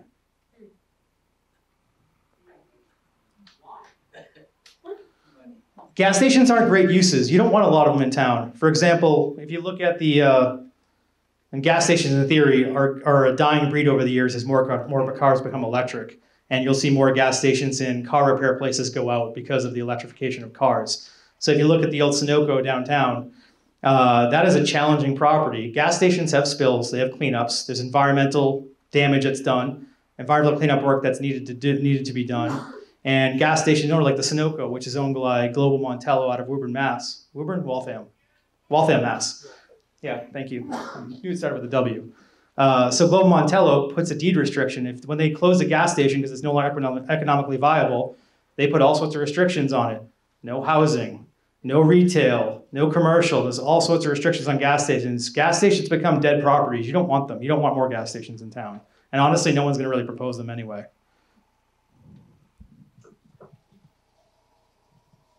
Any other questions on gas station rules? Uh, section 485. Uh, this is probably the easy, the smallest change in the whole thing. Um, editing language that talks about zoning districts and using zones instead of districts. Doesn't get more simple than that. Uh, section 488, revising. Go ahead, sorry. Just the language change. We're talking about zones instead of districts. It's, it's, it's a current archaic language. People talk about what zone are you in. They don't talk about what district are you in. Just a language change. Modernization. Uh, section 488, revised rules for RV camper parking. Right now, you cannot park your RV in your driveway. This will change that. So uh, section 488 allows RVs to be parked in driveways. Right now, RVs must be parked in, in the backyard or side yard, no closer to, to the road than the uh, the front facade line of the house. If You take the front facade line of the house, go from side to side of the property line. RVs have to be back behind that. This allows someone to park an RV in their driveway. It also clarifies other RV-related rules for parking, uh, and primitive and allows them to be used during construction as a primitive camp. So the Vermont wastewater rules uh, speak to a primitive camp. It can't be used more than 20 days in a row, more than 60 days in a year. And uh, so basically, we're allowing RVs to be lived in during the construction of a single family home. So let's say you buy some land. Uh, I see it often with young couples. They'll live in an RV uh, camper as they build their home. And as long as the camper is hooked up to septic, we're allowing that provided it's during the construction of a, of a house. So this um, really codifies a practice that happens now. And we're making it, uh, we're making it legal to do so. Yes. Come on, come on up, Al. Or yell it, I'll repeat it. Come on, okay. At a previous meeting, we talked about parking your campers in a driveway. And I understood you to tell me that you changed that after that last meeting. This, this is the change. This change has been on the books. So this zoning change, to back up a little bit here, this is two and a half years of planning council work. So we probably discussed RVs right before the pandemic, or maybe right as the pandemic started. It was a long time. We got Tom shaking his head. At, shaking his head. at the meeting we had up at Copley, we talked about camper parking in a driveway. Same exact language. Nothing's changed. And you, I understood you, te- you to tell me that you had changed that so it was legal for us to park our campers in our driveway. Yes, that's what we're doing tonight. So right now, because this that language is worn, that's the exact So same that- language. That didn't happen until now. Yeah, nothing can, nothing happens. Planning has no approval power. Everything up at Copley, under the tent, the whole people with a meeting with 140 people there, it's advisory only. These guys punch the ticket. There's a conductor on the train. Planning's not. Okay, but that, that change will be put into effect as a result of the, result of this change? If these nice people and the trustees vote to approve it, yes, it will. So we, we will be clear that we can park our campers in our driveway. Right now, because this is warned, I'm not going to give you a hard time about parking a camper in a driveway. But once this is approved, yes, you can legally park a camper in a driveway. Thank you. You're welcome.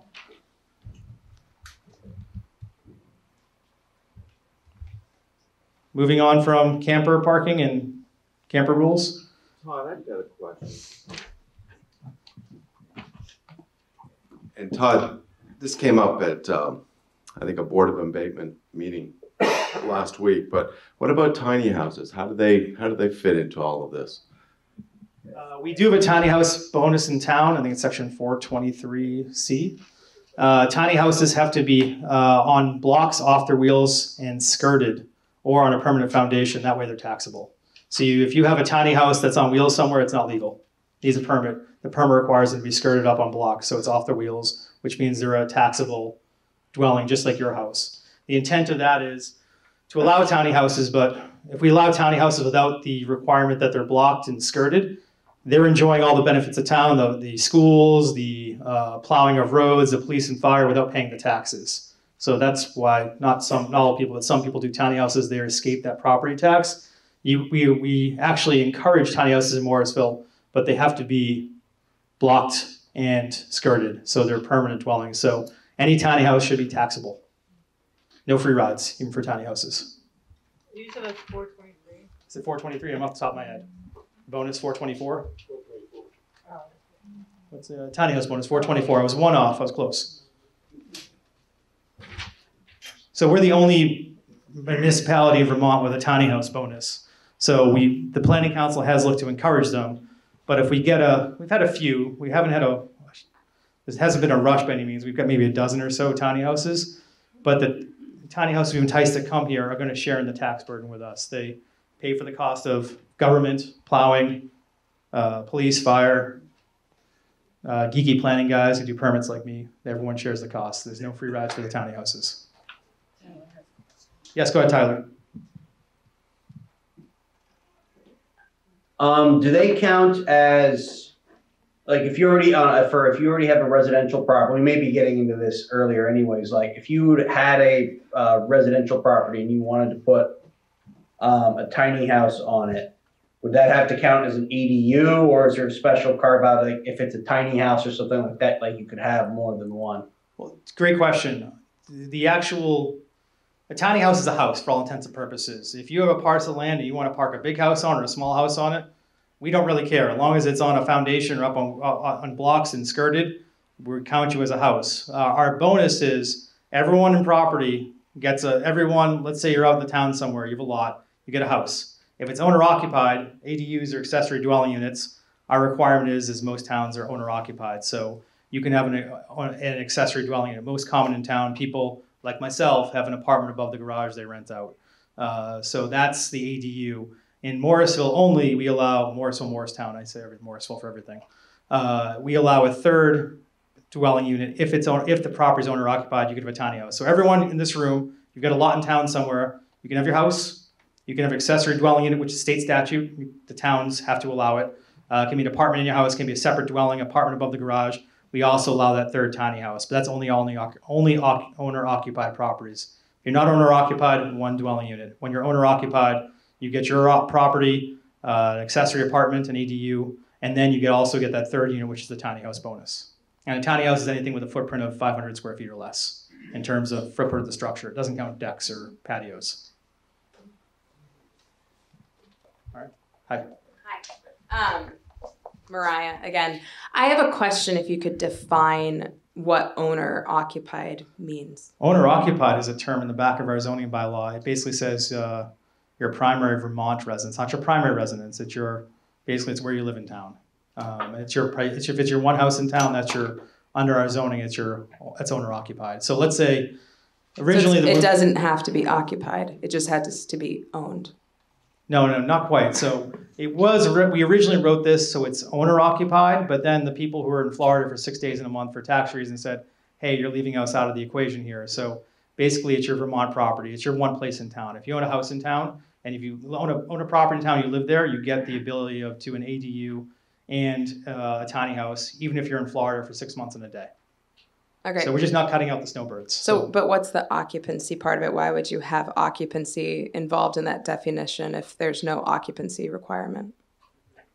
Yeah, in theory, you could have, if you have two houses, I could spend 351 days in Florida and the other handful of days here. That is still my Vermont Morrisville owner occupied property, even though it's short term rented the rest of the time or long term rented. But yes, that's true. It's lenient, but that's the definition. Okay. Not part of this meeting, but I would suggest uh, clarifying that and removing the occupancy aspect of it. Okay, thank you. Good question. Any other questions on this part? Well, this part was four twenty-four or Four, four? 488. We're kind of off base here, but that's okay. David Ring, I'd like to also have you clarify an owner, considering this, is, I I do a lot of research and I see a lot of trusts. Now, if it's owner occupied, what about a trust? A trust has existence, but is it an owner? And just- if you say these are owner occupied, how can a trust, as you're saying, occupy something? Well, under section 488, we're talking about RV rules for campers and parking. If the trust was the owner of the property and that's their only, if the trust is that's their only place in Morrisville, the the trust gets the accessory dwelling unit in the tiny house. At least that's the way I would interpret it. Section 490, moving on. We beat campers and RVs to death now. Uh, section 490, it's uh, kind of companion to what we spoke about earlier. We're revising lighting rules to better comply with dark sky initiatives. We talked about that earlier. We're trying to better to see the stars at night and make sure our, our lights and signs don't add to or contribute to light pollution that makes the, the night sky harder to see. That one should be pretty straightforward. Uh, section 500, doing some revisions to site plan requirements for new compost rules. Compost is required, so compost, dumpster, recycling. And we're doing requiring cluster mailboxes for multifamily properties. And that's a request of the postmaster. So the postmaster wants cluster mailboxes. You're driving a property, you see that little, little box thing on a post and it's got all little box with keys, the little things there. That's a cluster mailbox. That's what the postmaster wants for multifamily properties. And it's going in, unless someone objects here, it's going in the zoning code or the trustees object.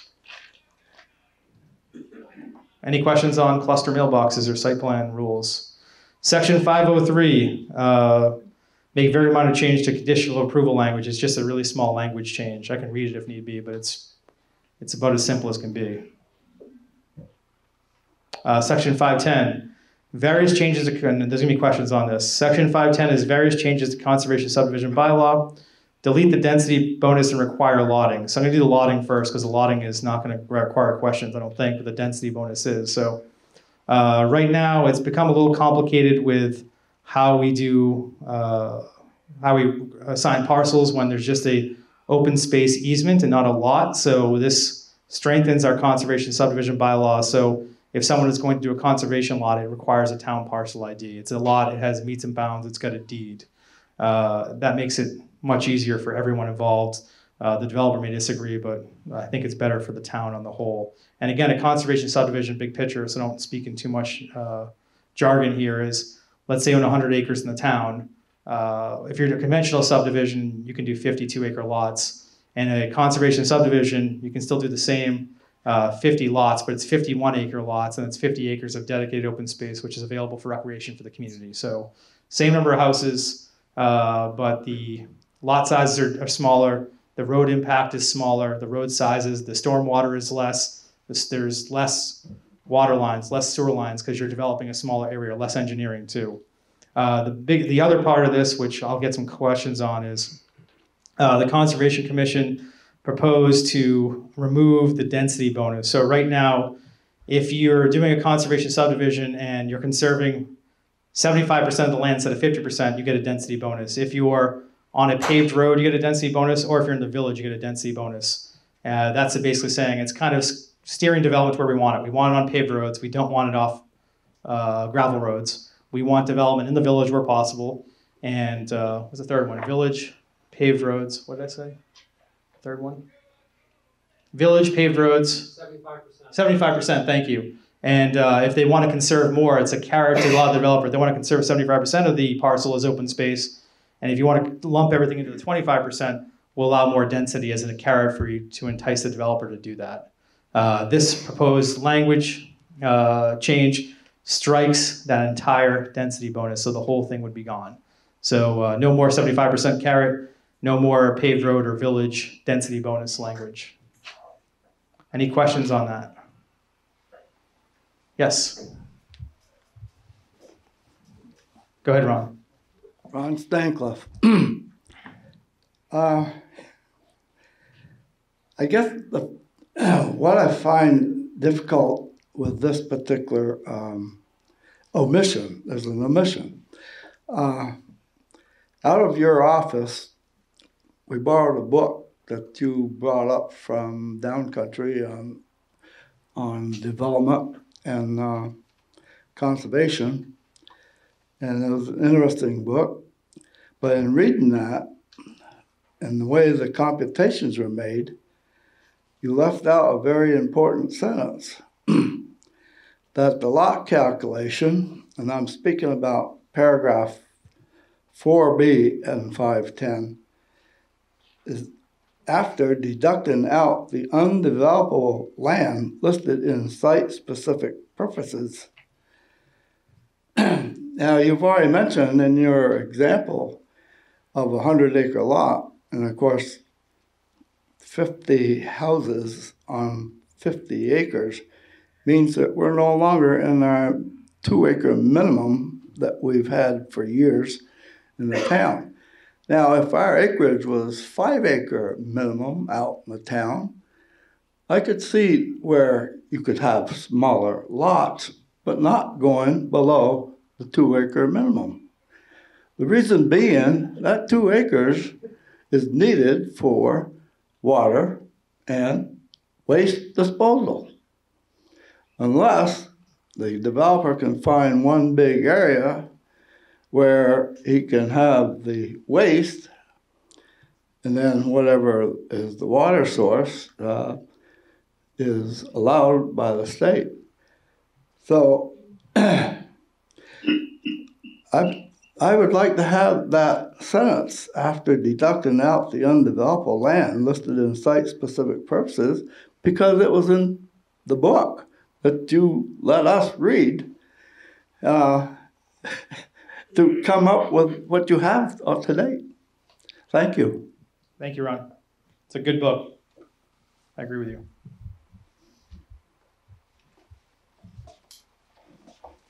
Hi, go ahead.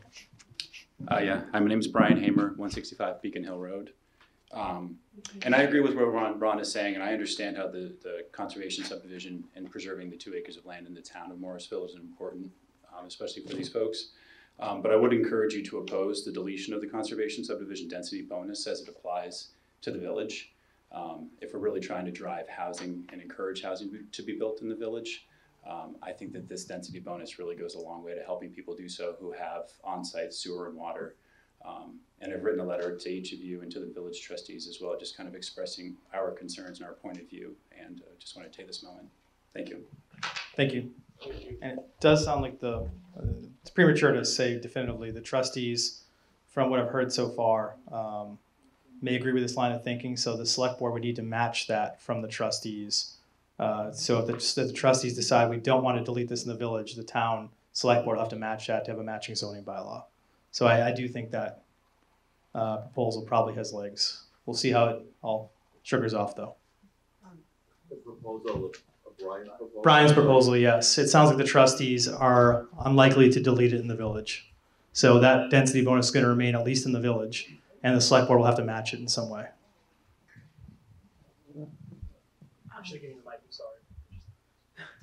Will we be, um, will we be seeing the, um, the current, um, zoning and the proposed side by side, or is that up to us to, to look at that? I just learned tonight, I think you're gonna have a joint meeting with the trustees to work out any language interpretation issues, kind of like a conference committee. You're like the Senate and the House working on proposed language before the governor signs it. Uh, I think you're gonna have a joint meeting with the trustees where you have to agree. What we're trying to avoid is, I think with the town plan approval hearing, I must have ping ponged back and forth a dozen times and changed the town plan, changed the town plan, the select board changes this, the trustees change that.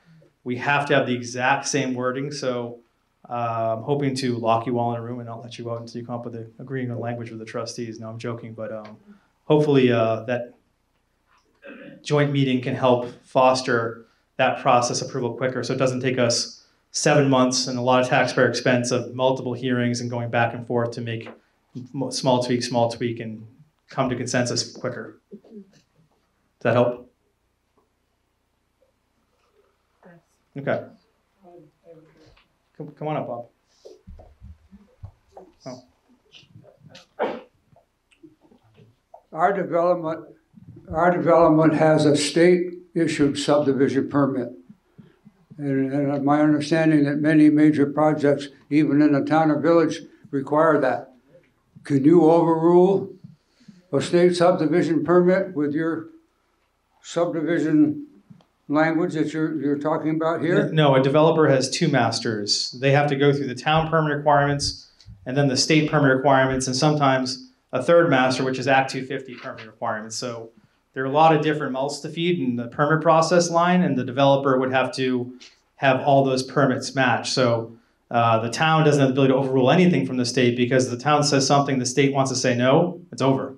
They can't do the They project, had- the state doesn't They would approve it. have to have a town village subdivision permit as well as a state subdivision permit? Correct, yes. It's a lot of hoops to jump through to develop property in Vermont. That's why, that's why it's hard to do it. Not many people do it.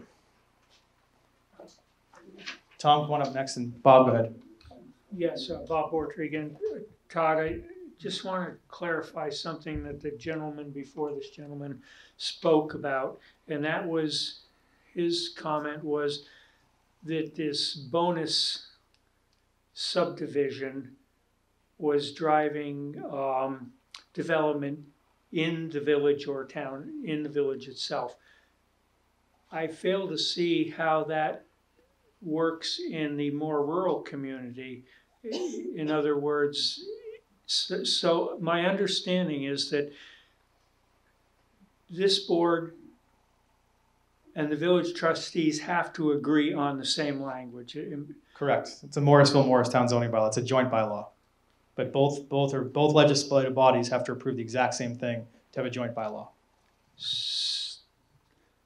Otherwise, we have a town plan for the village, a town plan for the town, zoning for the town, zoning for the village, and you have double the amount of government here. Right, I understand that, but I guess what I'm getting at is, this sounds to me as if we are expanding this heavy density into our more rural areas. In other words, not confining it to just a downtown historic district, but someone could have a hundred acres and put God knows how many places on, in it. The existing density bonus, yes. There's proposals to strike the density bonus, so that would take it away from the town. Right now in the town, it's only seventy-five percent uh, conserved. So if they're conserving seventy-five percent, developing twenty-five percent, so they're can do more dense housing than twenty-five percent or a paved road. So for example, Geltz Road, this has no impact on. But right now on Stancliff Road, people could do more dense housing because it's a paved road, or somewhere on Laporte Road, it's a paved road. So the proposal to strike the language keeps more dense development, uh, well, it just deletes it everywhere. It doesn't, if the proposal is to keep in the village and out of the town, that concentrates in the village. Left as unchanged, left as, um, if it was left unchanged, it's supposed to be deleted, you could get dense development on some paved roads in the town, that's true. okay, so it sounds like there's gonna be a bit of an impasse here between the two boards, is, is kind of what it sounds like. Perhaps. It'll be up to the select board. The select board could, so the proposal from the planning council is delete the density bonus. The planning council would agree with the conservation commission, the density bonus is being struck, is being struck. So it's gone. The trustees are saying, wait a minute, we want housing, single-family homes especially in the village. Uh, we're okay with it. We don't want to strike it. It'll be up to the select board to either say, we don't want to strike in the town either, or leave it struck in the town. We'll have to say it's a law only in the village.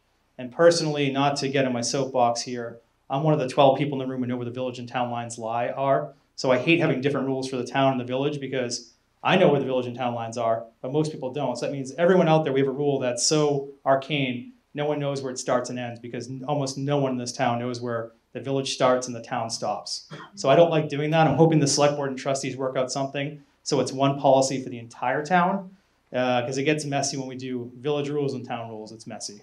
I can understand that. Yep. I, I, I guess my, my greatest concern is I'm not, and I don't think many people in this room are anti-development.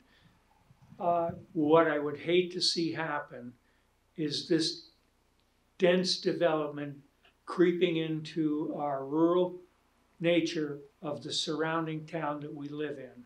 This is my greatest fear, and I feel it's fear of a lot of people who live here, who have made their livelihood here, and who cherish what we have. And I do not want to see that disappear. So Mr. Bortry is saying he'd like you to delete the conservation density bonus for the town. Thank you. There's no proposed. What's proposed here? Stick, stick with what's proposed, yes. However, so you have the different rules where the village, you'll have to work it out with the village, where it stays in the village and it's gone in the town. Mr. Snip, planning council member Snip. Tom Snip, Morris uh, Town, council member, village trustee. I think we have to be careful about speaking for other councils Understood, because yes. this is why we're all here, is to Yep. kind of go through things and maybe come with changes. So we don't want to put anything, other thoughts into other people's heads, what's going to happen. That's why we're here. That's why we're discussing this. And let's just keep it that way, okay, without assuming anything else. That's all. You're doing a good job. I did say a little premature, but yes, thank you. Thank you. Thanks for saying that, Tom. I was gonna say Yep. Any other questions on deleting the debt? yes, a bunch of questions, Um, and Lee. Well, Lee, this is up. this is just a clarification question. So initially, I feel like what I was hearing you say, Todd, and feel free to interrupt and correct me if I'm wrong, was that the two boards must align. They must align, yes. Okay, but then you just said after he spoke and we applauded that uh, if the town would like to, you know, strike this and kind of protect our rural areas without including the high density, blah blah blah, that they could do that and be misaligned with the trustees. Is that a viable option, or is it are they legally bound to align? the bylaw must be the same for the town and village, but the bylaw could say, and I hate doing it, but it's these rules for the town and these rules for the village. So basically, the density bonus be rewritten to eliminate seventy-five percent piece, eliminate the paved road in the town, and just remain the density bonus is only for properties in the village. So it would be one of those rules where only the village gets the bonus, the town doesn't, no one knows what the village line is, but that might be the best way to move forward here. If the trustees, again, big if, thank you, Tom, actually decide they want to keep the density bonus in the village. Okay. Uh, follow up question, and then I'll walk away. So there's just gonna be one zoning bylaw at the end, no matter what the zoning bylaw It can say anything. As long they as just both have boards to agree. agree on what it says. one thousand percent. Okay, so that is great, and I think that will give a lot of people a nice deep sigh of relief. So what I'm hearing is the select board on any of these items and any items going forward for town zoning does not have to shake hands and kumbaya with what the village trustees say and all be one happy family. They can just agree with the verbiage. Like they can have their own mind and go, we think that that this is best. The village trustees can say, well, this is best and this is what we want to satisfy. And they can write in verbiage where both needs are met. In one document. It doesn't have to be mm-hmm. one ideology that's met. You just obviously, yes, that's it, correct. To some extent, you keep separating the town, the village, and no one knows the village boundaries are. At some point, is it makes sense to have village rules and town rules in a separate document, but we're nowhere near that. So yes, the select board and trustees, if they do end up disagreeing on deleting the density bonus, can, as long as it's the same wording in one document, we're good, and the village gets treated differently than the town. Okay. But and they that can both be on any line of ideology. Yes. Ideology does not need to Just be hopefully not- single minded. Just hopefully not all of it, yes. Okay, but anything. Ideology does not need to be single minded. Just has to be single verbiage. Thank you, Mariah. Lee, you had a comment? Come on up. Come up to the mic. They can't hear you on Zoom unless, Zoom's important. They can't hear you in the Zoom unless you're on the mic. I just wanted to ask Todd on this density, just say you have a hundred acres. But, uh, and you can put fifty houses on Yep. it. Uh, But thirty of that hundred acres are unusable. Do you still have the same density? You still have the da- same density. This is get Ron's point earlier. The to do the conservation subdivision the way it's done in actually the book, Randall Arnsberg uh, conservation subdivision book, you back out the wetlands, you back out uh, steep slopes, you back out unbuildable areas. Uh, the cost of that up front is can be quite staggering. So let's say you have 100 acres and you've got deep ravines, you've got wetlands, you've got protected habitat. You've got to pay someone to go do wetland lines, figure all this stuff out, and says, okay, I'm 100 acres, I got 60 left, and then I do the density. So when the calculations are made to put in the conservation subdivision bylaw, we didn't want to load all those upfront costs on the landowner, and basically kept it to a simple math equation. You got 50 acres, and you get 100 acres, you get roughly 50 houses. Um, so we didn't subtract the wetlands or anything like that because it's too costly for the average homeowner to do. And we don't do that elsewhere in town. We don't say, I've got two acre, I've got a two acre lot, I want to build a house. I said, well, is it really two acres? Is it one and a half acres and half acres of wetland? And I'm going to deny your permit because of it. We don't do that for house site. We don't do that for larger development sites. There's a lot of cost to it. That's the main reason. But the state does it. But yeah, they'd have to get permits done through the state, but this density is really done by the town. The state will make sure, and the bylaw itself steers towns away from the steep slopes, steers towns away, steers houses away from the wetlands, steers the development away from these areas, It protects them anyway. Uh, it just doesn't subtract the area. Just, I mean, you own the land. We're not, that bylaw already takes half of the homeowner's land and puts it for public use. We're not looking to take more by subtracting out things we don't think you can build on. You have hundred acres and seventy of it, seventy it's upland and thirty percent is wetland. You still get a hun, you still own hundred acres, you pay tax on hundred acres, we give you zoning for hundred acres. We're not gonna take thirty off at the top because you've got some wet areas. Okay. That make sense? Etienne? Etienne Hancock, uh, Planning Council Chair. Uh, Just on this density bonus, uh, I wanted to clarify that the intention of the density bonus, whenever it was five or seven years ago, it was well intentioned to try to concentrate um, housing in appropriate locations. Paved, paved roads, the village, exactly. Paved roads, the village. We, we, um, I realize there are some specific projects or a project that has come up. That's really outside of the purview of planning. We, we can't really look at individual projects. We, we really can't even care one way about them at all. The preferred solution here would be to say this well-intentioned bylaw that we want to strike right now um, should be revised next year for the next go-around uh, to try to clarify what was, we had, we had problems clarifying, excuse me, the calculation of housing concentration with the way the bylaw was written. It was confusing for us when we revisited it, and honestly, because it had not been used yet, we felt, let's just strike it, uh, avoid the argument, and we'll try again later. That would be the proposal that I would leave you with, the same one I'll leave to the village trustees. Thanks. Thank you.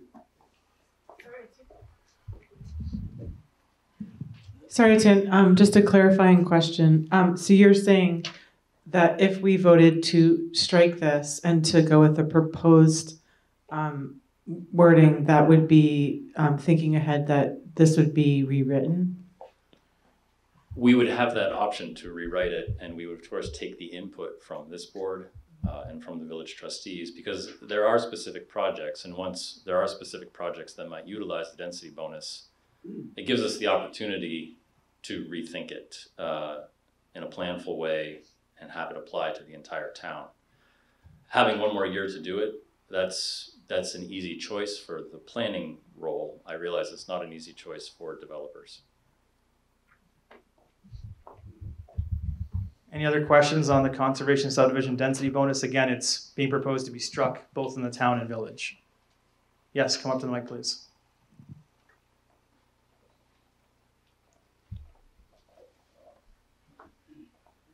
It's David Ring. Could you please give us uh, a brief explanation of how the density bonus applies in the village or what criteria is related to the density bonus in the village? We've talked a lot about the town, but not much in the village. Well, as of right now, um, with this zoning being warned, there is no conservation subdivision density bonus. It's gone as of right now. Unless this, if the select board or trustees decide to leave that proposed deletion on the cutting room floor and leave it in the zoning bylaw, then it's back. So it's, currently this, the bonus is gone. This is warned. The new zoning is in effect until it gets voted down. So we have no conservation subdivision bonus. But as it was before the zoning was warned, uh, there's no criteria any to where parts of the village get the bonus. The bonus is anywhere in the village. So if you're subdividing land, granted, there's not a lot of large subdivisions especially, but there's not a lot of subdividable land left in the village.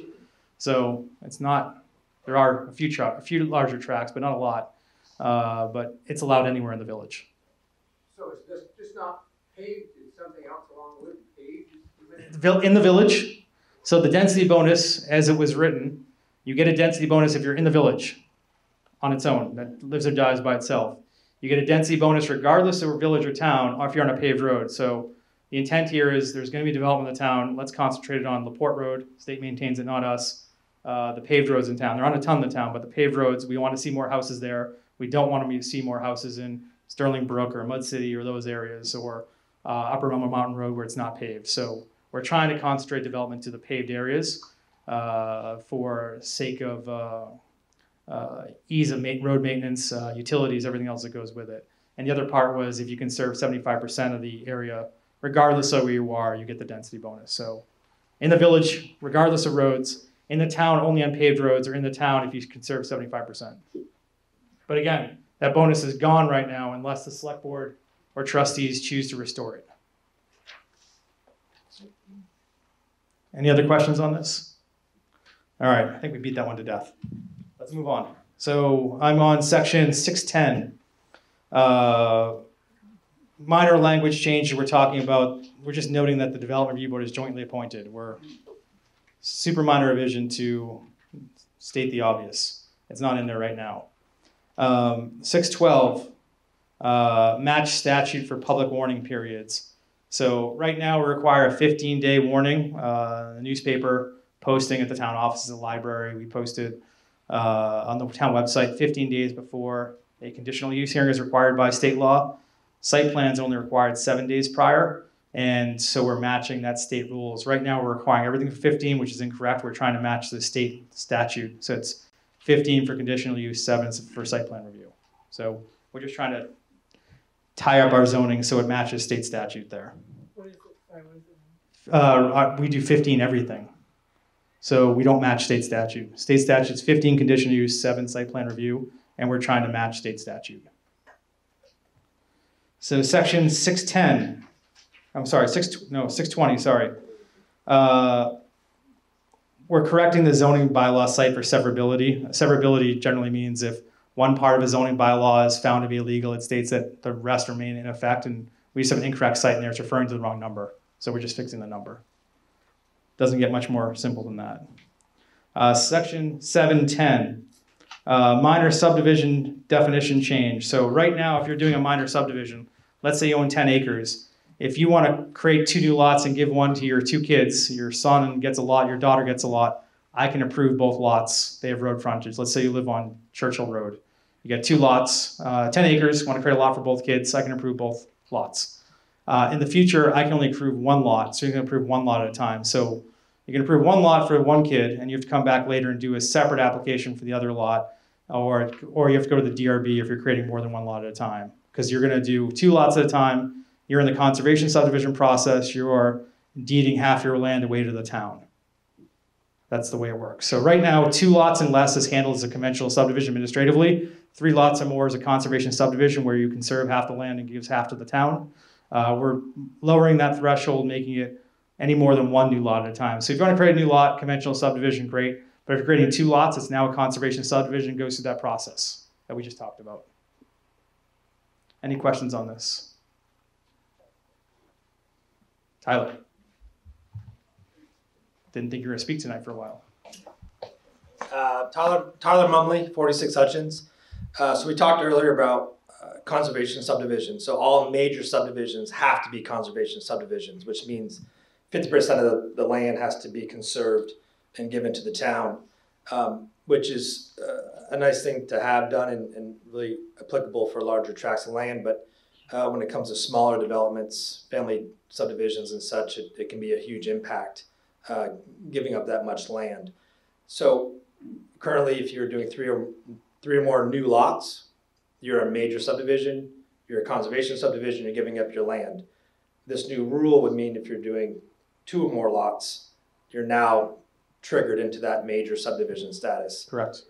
Um, so not only currently Todd can approve a two lot subdivision and it's not conservation and that's going to change. So more people have to go to the DRB to get approval and more people are going to have to give up 50% of their property. And these are talking about pretty smaller smaller developments and we see a lot of those come through, a lot of family subdivisions that are happening. So it's just a, pretty um, intense application to, to put on somebody with smaller amount of land, small amount of lots to go through that process. And I think it will be uh, have an impact on those smaller subdivision projects. And I would suggest that you know we uh, strike that from this proposed changes and try to revisit that. You know, like we just talked about for the density bonus, revisit this in a way that really gets at the basis of why it's, it's getting changed because I think it will have a negative impact on just simple rural uh, small subdivisions. Todd, could you or Etienne speak to the um, reasoning behind that? Sure. Uh, this decision to reduce the definition for a major subdivision from two new lots at a time to one new lot at a time was really tied to the conservation subdivision pieces. All came as one. So, uh, conservation subdivision came to be uh, as part of myself and the planning council proposing it to get out from under from Act 250 per, uh, permit restrictions on our sewer plant. So the sewer plant, anytime you add a new line to it, you have to update the Act 250 permit for the entire sewer plant. As the town just saw with the gravel pit permit process, which you're probably not even through at this point, or you're through, but maybe you're not through. That's a different story. It's a Herculean effort to go through an act, update an Act 250 permit for a large project, as we all saw. The zoning, uh, the sewer plant permit had a condition that should have been appealed, and it wasn't. That anytime we add a new sewer line to the plant, we have to update that sewer plant's entire Act 250 permit. Super onerous. So until we had enhanced zoning that protected prime ag, uh, and largely in the village and just in the, the close by sections of the town. So what the planning council did is we changed our downtown zoning to allow a lot more development downtown, which we've done, which you've seen. We're directing development downtown. That was required by Act 250. And also what Act 250 wanted to see is protection of prime ag soils elsewhere.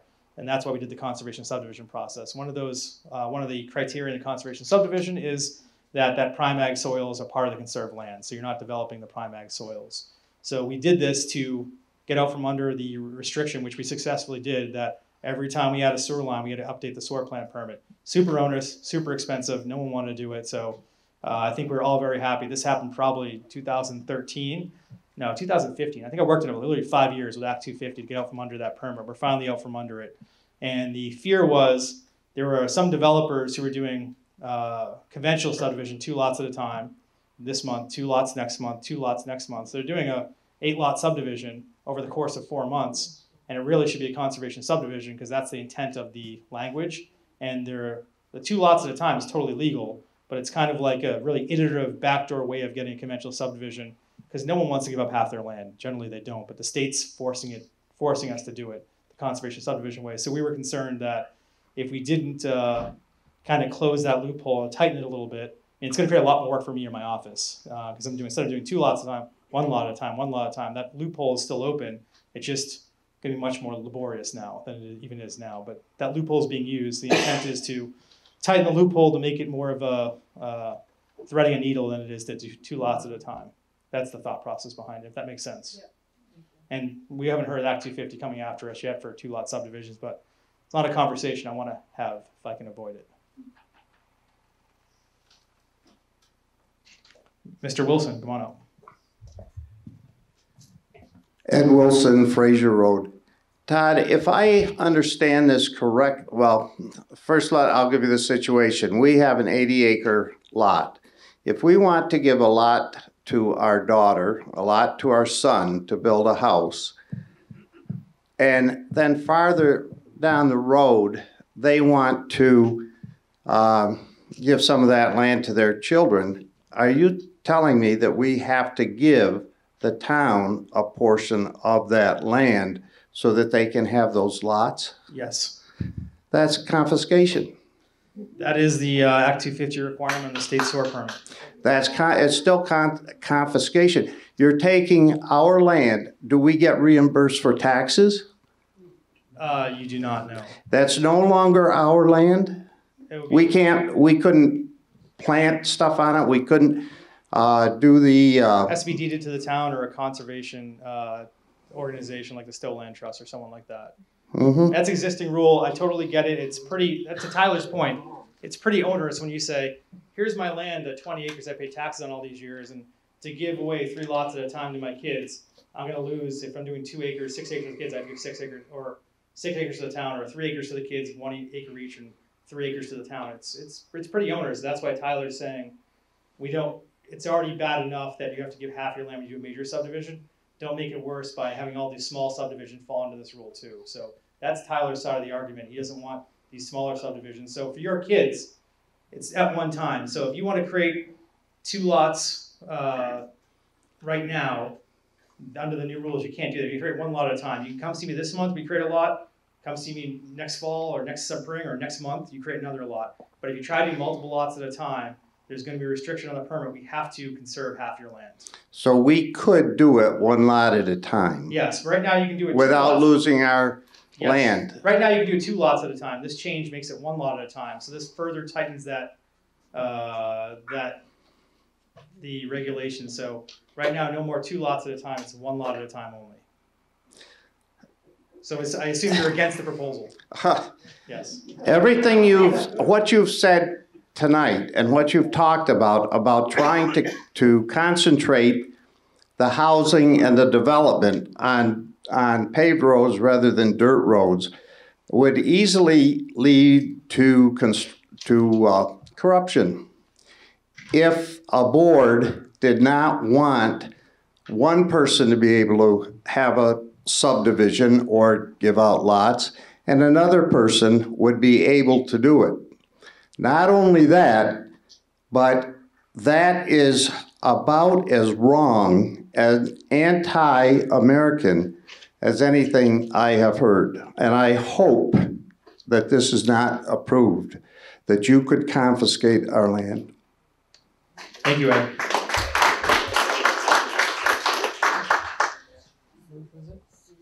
Susan on Zoom, you have a question? Fire away. I feel like a talk show host. This is fun with the Zoom part. Susan on Zoom, are you on? Yes, I'm here. Go ahead. So uh, this is uh, something that you moved past pretty quickly, which was 612 notice. Uh, and I would just say, as a property owner in the village, with a proposed major development proposal in an adjacent proper, property that I strongly uh, support keeping the 15 day notice for abutting property owners. Um, I feel like the developer already has a long runway to get their ducks in a row, and you have plenty of notice. And I think that we whose investments and the value of our uh, adjacent properties are impacted, that 15 days is really almost no time for us to understand the proposal and prepare ourselves to respond. So I would really urge the select board to keep the current 15 day uh, window for adjacent property owners. Thank you, Susan. Any other questions on, well, that's back to 612. Any other questions on uh, 710? Thank you. Anyone else on 710? We're going to move past 710. So 720 to 760 and 810 are all kind of uh, in the zoning bylaw uh, subdivision rules uh, realm. Uh, 720 to 6, 6, 720 to 760, there's a bunch of minor, small changes to the subdivision approval process, just clarifying the two-step process. Uh, a lot of different small changes, nothing really significant there. And section 810, which is accompanying it, is uh, a new subdivision standard. We're adding town plan compliance now that we have a really good town plan to uh, to one of those subdivision decisions that the DRB makes when they issue a subdivision. Any questions on that? What are you, what are you changing? Uh, the eight, section eight ten is the, uh, the, really the change. It basically, the DRB has to conclude that a subdivision complies with the town plan. That wasn't in there before. There's no nexus between the zoning and the town plan in terms of, does this meet the town plan? So if a proposed project really contravened the town plan, the DRB could take exception to it and potentially reject an application or condition it so it better met the town plan. Any questions on that? Seeing none, moving on to section eight twenty point four. So uh, this is a bit nitty gritty. We're offering more specific diameter guidance for cul-de-sac sizing and giving the DRB some flexibility there. So um, right now it's kind of one size fits all for cul-de-sacs, and the fire department does not respond with a one size fits all truck. In a small development, they're going to uh, send a smaller truck. In a big development with bigger buildings, they're going to maybe in the village they'll send a bigger truck. So we're trying to. We worked with uh, Fire Chief Denny on this. So we're trying to make sure that if the fire truck's not going to send the giant ladder truck out there, we're not going to require a cul-de-sac uh, that big. So I think it's 75 feet diameter and a 100 foot diameter, but it no longer paints our cul-de-sacs with one size fits all brush. We're now sizing the cul-de-sacs based on the zone they're in and based on how the fire department's going to respond. So that's a good change. Any questions? And that's making sure we're not eating up your land for a larger cul-de-sac than's needed for the fire department when they're not going to bring the ladder truck. So I think you'd like that one. Um, section uh, 820.5, uh, we're codifying the existing process for naming our new subdivision roads, and this board actually plays in largely with that. So uh, when there's a new subdivision proposed, the developer uh, has to provide proposed names. Uh, Mayflower Field, uh, Mount Elmore Grazing Lane, Lane, whatever, whatever the road names would be. The select board, this board creates and approves those names. At the same time, the select board is supposed to provide the developer with indication, is this gonna be a town road? Does it serve a town public purpose? Or is this gonna be a private road that really doesn't, we're not gonna take over? If it's a five house dead end cul-de-sac road, there's a pretty good chance the town's not that interested in taking over because it doesn't provide a public access point. However, if this new road's gonna cut between the most recent one I can think of is Center Road and Route 15, and people are gonna, the public in general is gonna use this as a cut through.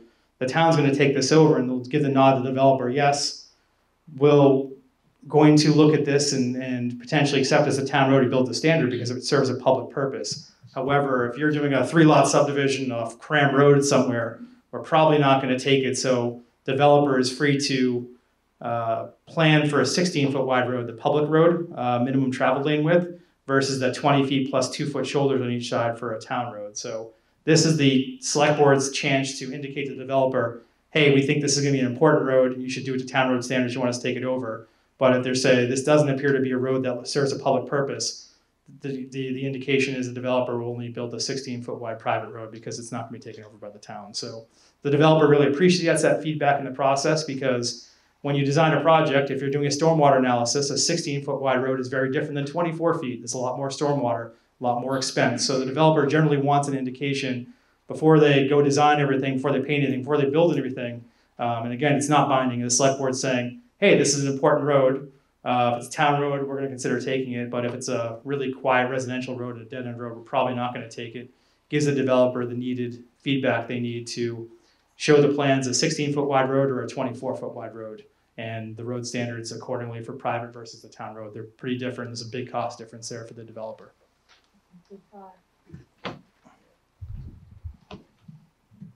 Currently, we, we're just uh, approve, approving the name of the road or the street or whatever.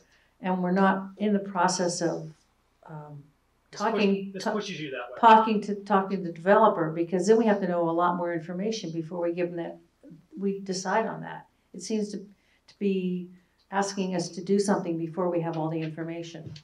This, pu- this, this pushes you towards trying to figure out earlier in the process if it's going to serve a public purpose, this road or not. It's pretty obvious generally. If the road's off Cram Road, it's not going to serve a public purpose. It doesn't need to be a big town-wide road because seven people drive on Cram Road a week. Um, not to pick on Cram Road, but if this is going to be a new road like the one off Upper Upper Munson Ave, which is going to be right now exists to the credit union only, it's going to loop through to Center Road. That is a road that people are going to use heavily. It's going to have hundreds of cars, if not thousands of cars a day. That's a road where it's pretty obvious the select board when they name it, when they come and finish a new section, which could be soon uh, potentially. You're going to say, hey, we're naming this road. It's probably going to be a public road. Uh, you should design it to town road specs if you meet the specs. And we'll have a hearing later. We'll make the decision later. But chances are, when it's a public road, we'll take it over. So it's pretty should be pretty obvious based on where the road is and what the use of it's going to be. If you're going to take it over or not. This board needs to work on its town road policy. There are a bunch of exceptions out there. It's pretty cloudy right now, so that's a later project. Um, but generally, it's pretty obvious. And if you're looking for a recommendation from me, I'm usually at the at the meeting or at least uh, there when you do the road names. I can give you a recommendation if need be. But yes, I mean, it is important to the developer. I mean, if they're asking me, well, is the town going to take this or not? I mean, I have no clue. It's up to the select board. So that's their chance to get in front of the select board when they do the naming policy to get an indication which fork in the road to take, because it's a really big fork.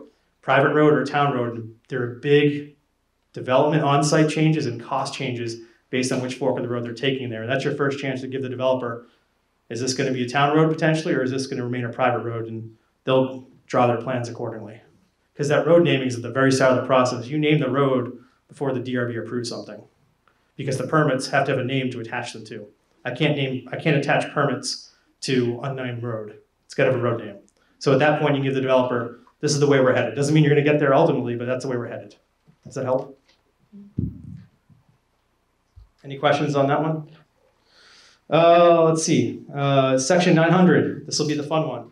We're revising definitions for fence. Um, it's a pretty simple one. We had a we had a uh, project recently where a developer is using concrete waste blocks for a fence, and the town said that's not a fence, so we're now codifying, unfortunately, what a fence has to be because a concrete waste block was not desired by the DRB or the neighbors as a legitimate fence. So uh, many of the definitions like this, you get to a real world application and someone thought waste blocks were a good fence and the neighbors and the board didn't disagree, disagreed. So now you tweak the zoning to make sure that you say what a fence has to be made of and concrete waste blocks is not one of the things you can make a fence out of. So definition changes for fence, recreational vehicle, short-term housing, which I'm sure we're going to talk about ad nauseum here, uh, special industry, storage trailer, primitive camp. We talked about primitive camp earlier. Uh, we're deleting the preliminary, preliminary plat definition. We don't use that as part of the process. So Can you go a little slower? Are these changes? These are definition changes. We're revising certain ones. Can you go back to? Sure, fence. Fence. Fence is the first one. Okay. We're adding specificity to what a fence is for the first time. So we don't end up with concrete waste blocks as a fence. Next one's recreational vehicle. Uh, the one after that, short-term housing. That's under section 900 in the warning. I know. Oh, sorry. Recreation vehicle. And then short-term housing, This is a big responsibility. special industry, storage trailer, Um, Special industry. and we're adding primitive camp, and we're deleting primary plat, preliminary plat, excuse me. Of the changes here, really the short-term housing ones, the big one, the only one that's really major. You're eliminating what? Preliminary plat, it's not used.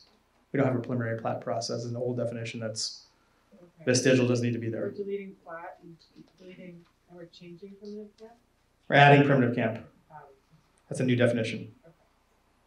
So the big one here is the short-term housing one. So there are people here who want to speak about short-term housing. I'm sure there'll be a line. So uh, this is one of those rules where the town and the village have different definitions for uh, what can be allowed for short-term housing.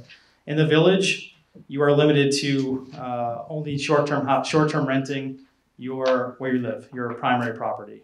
In the town, you can buy as many houses as you want, run as a business. You can own 18 houses in the town, 25 houses, two houses, whatever the number would be, and run them as a short-term mini hotel business.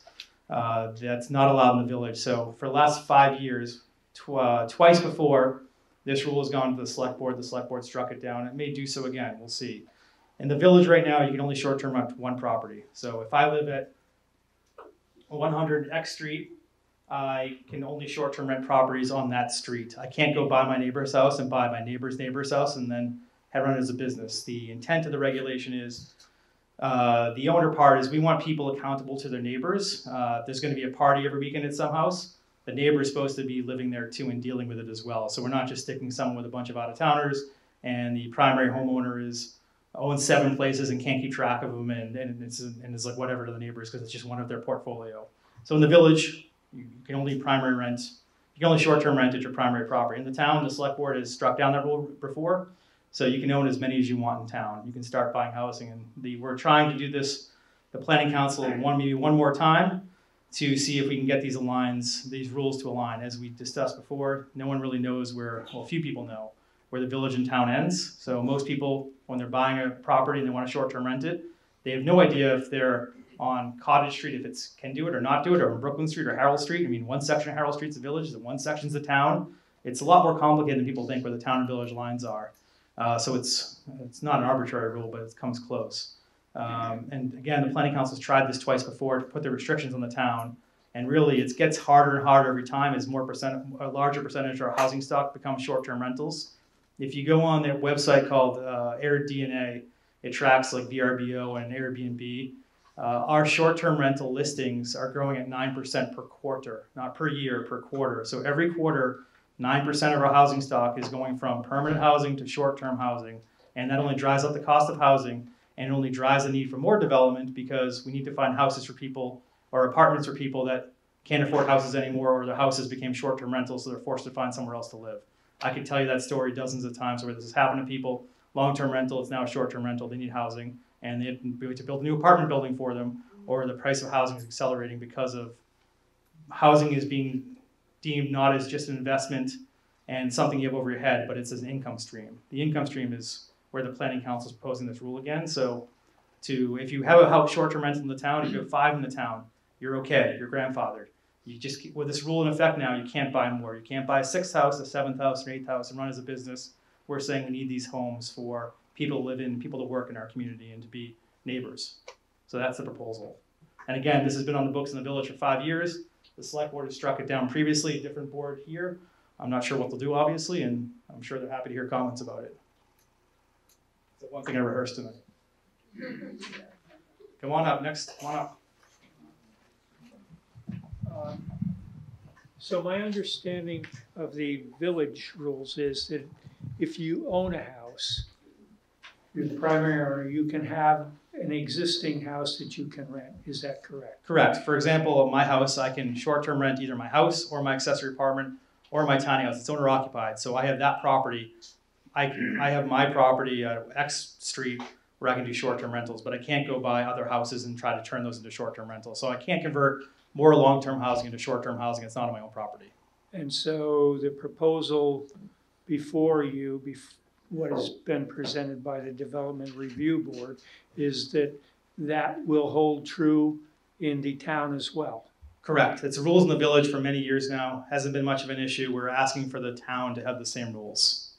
And the town, the select board previously liked the grand list growth aspect and liked the, uh, we want people building more houses. I mean, there's a positive side to short-term rentals too. I mean, there are pluses minus to everything in life.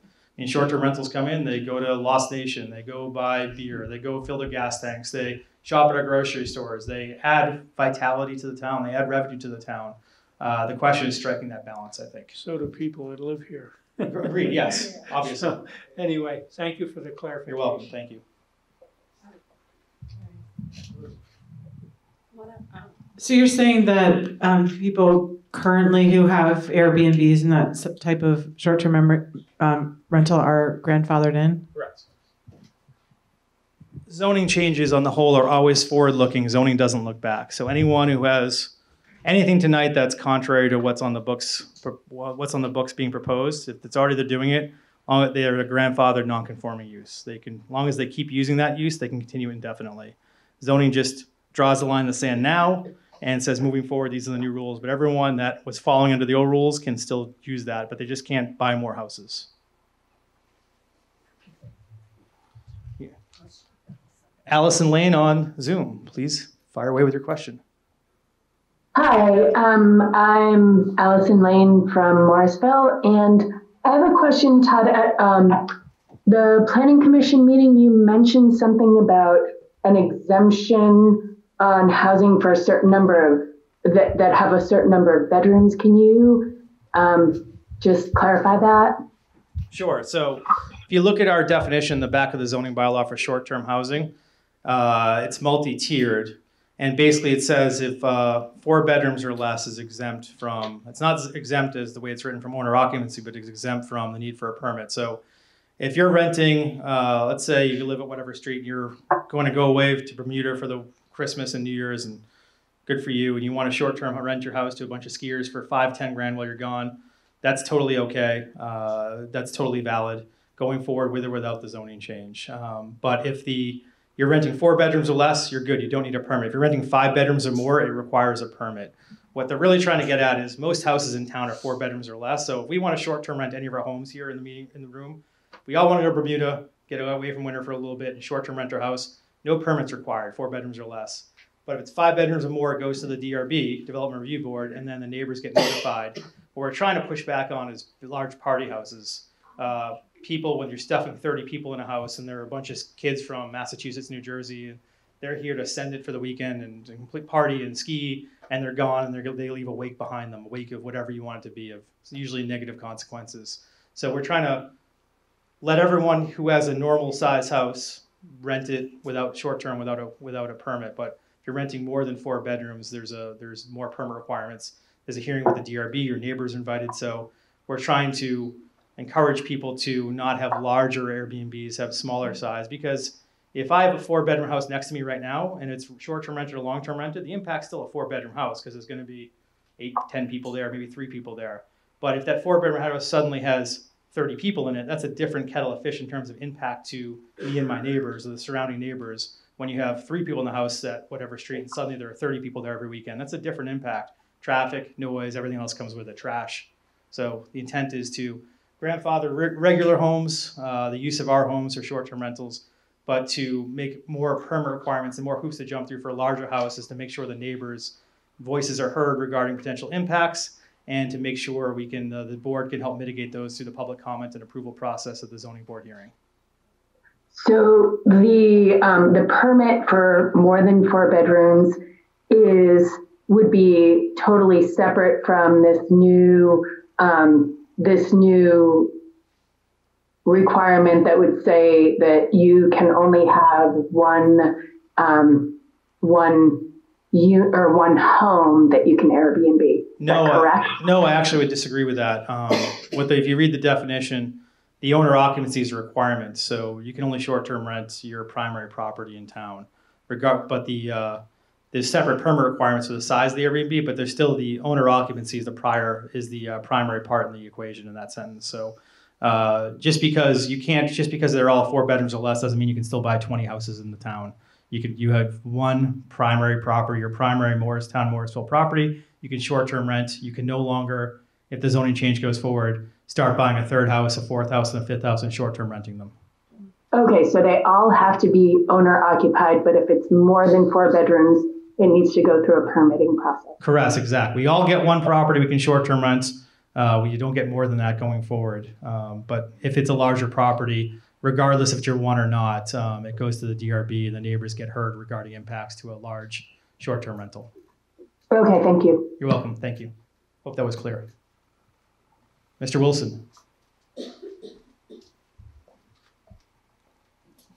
Ed Wilson, Fraser Road. I, I'm going to forget half of what I really want to say here, but I think, uh, in terms of your comment that the, uh, that the planning is a forward-looking thing, I can see where there's merit in that, but I think it's pretty presumptuous of the board or, uh, or planners to know what the future holds for different people and different situations. We have two residential housing units.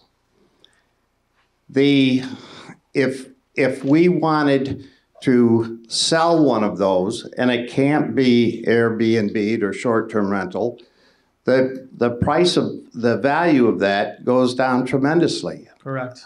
That's part I of the mean- reason for this. And, and one of the reasons for this is to help with short term, so that uh, these houses won't be turned into uh, short-term housing, uh, so that people don't have long-term rentals. That's one of the thoughts behind it, right? Yeah, I mean, you're right. You are financially impacted. If you can't sell your house as a short-term rental, it's worth less. Houses are being priced at the income stream they can make as short rent. Short-term rental is not a house to live at, work at, and be part of the community at. So that is part of it. So if the board does choose to restrict short-term rentals to your primary uh, property in town, you are impacting the price, the market value, and I think more than theoretically, you are impacting the market value of those prices houses going forward because uh, it takes part of the market away. That Joe investor who wants to buy multiple houses for short-term rentals isn't going to buy that house anymore. He's going to go shop in Hyde Park or shop somewhere else instead.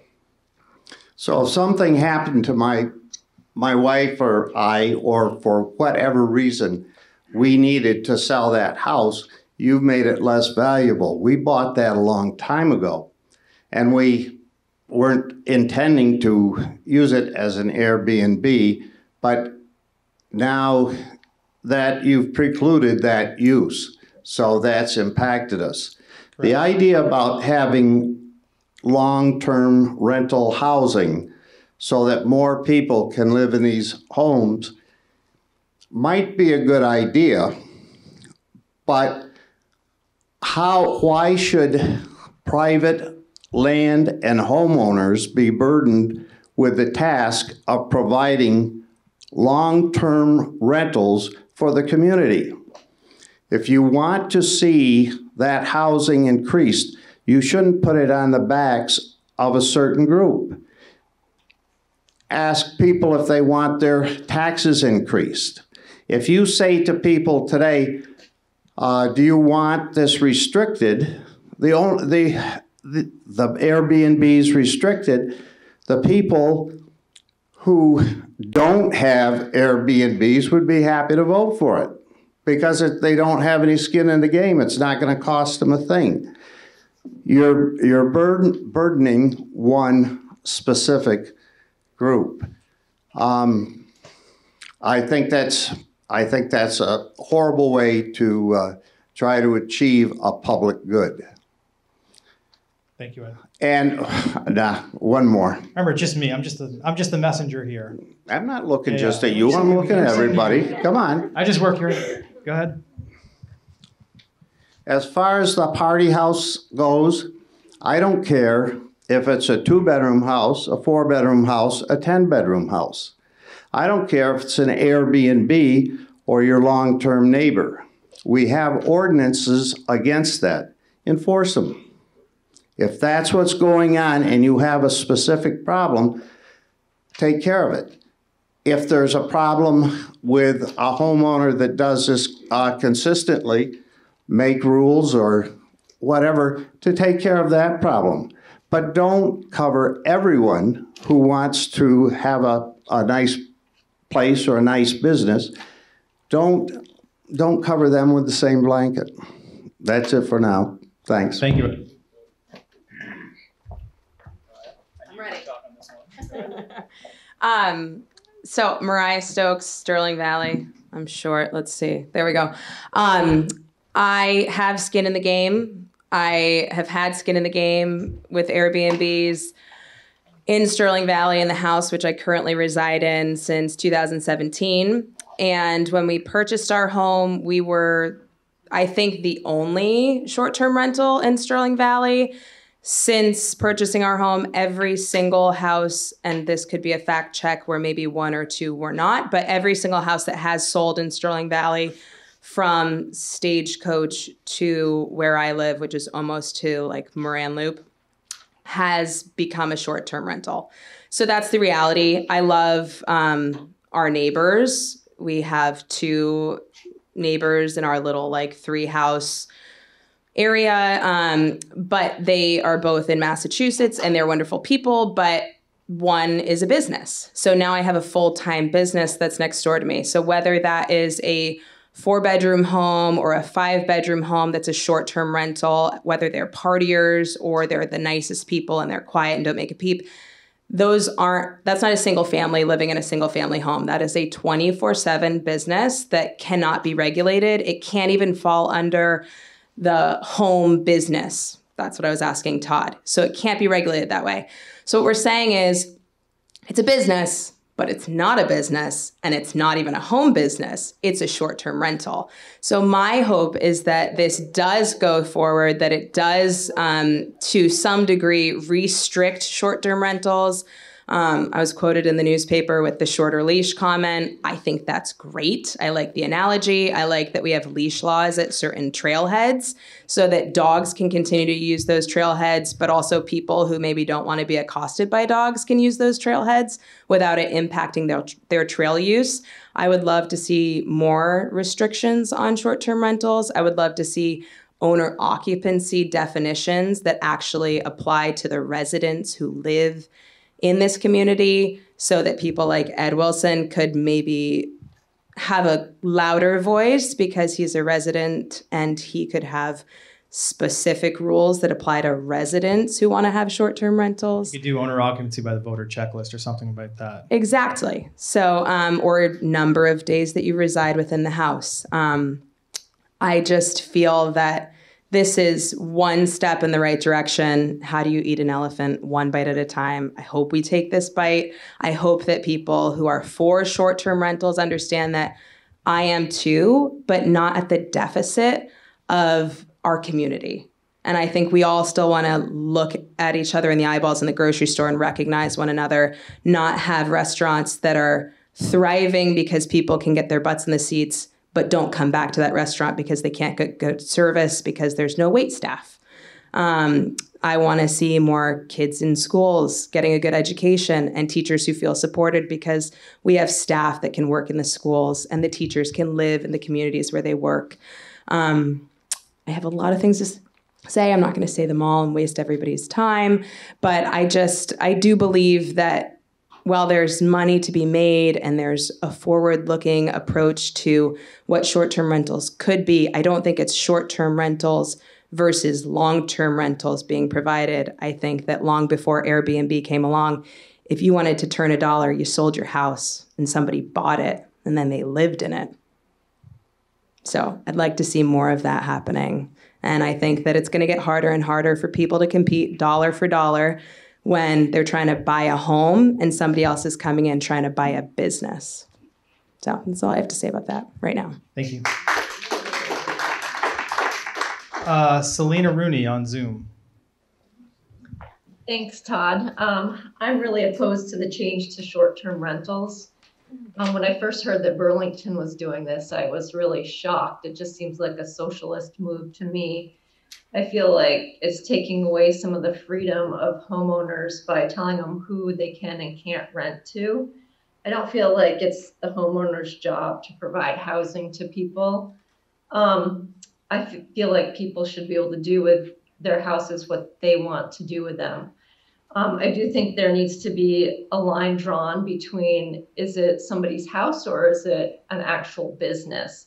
Obviously if somebody's got 15 short-term rentals in Stowe, that's a business. So I think we do need to figure out where to draw the line. If you're looking at um, business in terms of income. It looks to me like if you have three short-term rentals or more, that is considered a business because of the amount of income that you're making.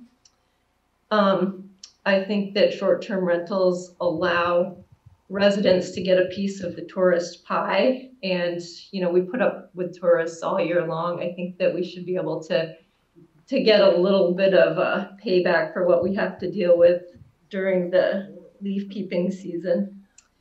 Um, I've looked at a lot of the different states and their reactions to what they're doing with short-term rentals. And um, most states, this has gone to the state Supreme Court. And there's a lot of court cases out there. I think before we make any rules, we should really look at what rule, those rules are that are actually being um, held up by state Supreme um, courts. I also feel that the short-term rental market is going to regulate itself. People aren't going to come to Morrisville if there's no good restaurants um, because we don't have long-term rentals for the staff at the restaurants to work with. I think it's going to work itself out.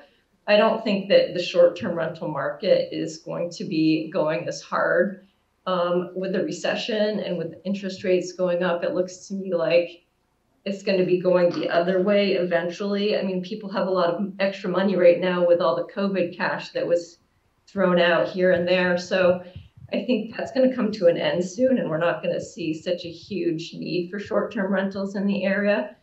Um, but again, that's something that's probably going to work itself out.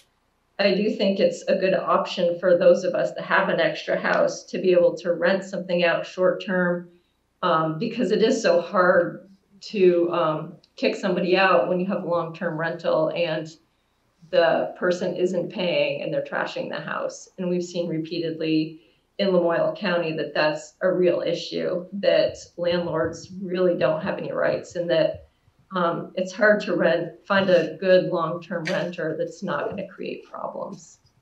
So again, I just want to reiter- reiterate that I am um, opposed to the changes to short-term rentals. Thanks. Thanks. We have a comment. Uh, another Zoom. Oh, Wally is there first. Let's do Wally first. Wally Reed. And then I have two Zoom people after Wally. Well, Wallace Reeve on Jersey Heights. I'm not going to speak to the validity of short-term rentals, just if there is a permit process for five bedrooms or more, if you could put in some safety inspections, because right now, these are business with no state requirements. That they're actually in the uh, five bedroom or existing. They require a, uh, I believe, a um, occupancy permit from the Division of Fire Safety. So Sean Thank. Goodell will be walking through the property. Thank you. Yes, four bedrooms or less. No, five bedrooms or more. There is a that safety part. There's a fellow in the back who's had his hand up several times. I forget his name. Come to the microphone, please, and then we'll go to the Zoom questions. All right. up to me. Yeah, um, all Yep. set. Scott Thompson, Morrisville. Uh, I have my head in with the Vermont State Housing Authority, Section 8, HUD, um, Department of Mental Health, Howard Center. I've got quite a bit of package behind my experience. Um, do you people in this bedroom realize that these apartments going up are probably uh, $2,200 and that they don't qualify for Section 8 Shelter Care Plus or any of those? You're saying that, miss. You're shaking your head like you have a last name at Gamroff. Would you like to exp- express your concerns to me while I'm standing here? We're talking to people that need housing. I'm agreeing with you, sir. Okay, thank you. Uh, That's from me to Thompson Padicore, PhD, MD psychiatrist. Thank you. That, but I I'm want everybody at this to, to be aware of this, okay? Two thousand dollars to get into one of Graham Mink's apartments, no car, Medicaid and Medicare, eligible Scott- for this and that. Scott, Um, we're, I think all of us up here are very aware of what you're talking about. Unfortunately, I this work is, some real good doctors. This isn't the place for us to be talking about this right now. Well, it falls you. under HUD and housing, so that's the way I feel, and I think the public needs to be aware of it. Thank you. Because I have the knowledge and I can get Doc- Dr. Simpatico in here. Thank you.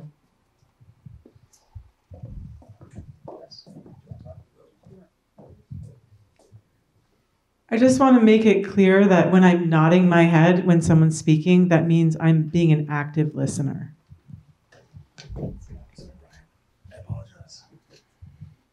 There you go. Uh, there's a Nancy on Zoom. We need your last name to speak. Nancy, the floor is yours. Is she unmuted?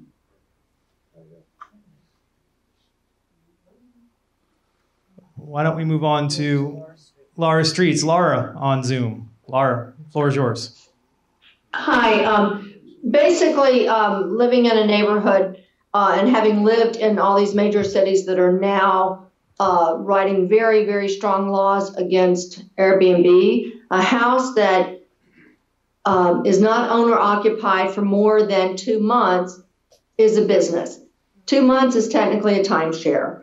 Um, that's always been my concern. um, and I, I think the owner definition right now is you're setting it up that it's allowing people to have a house that they never live in. Um, and therefore they are renting it out on short term and it becomes a business.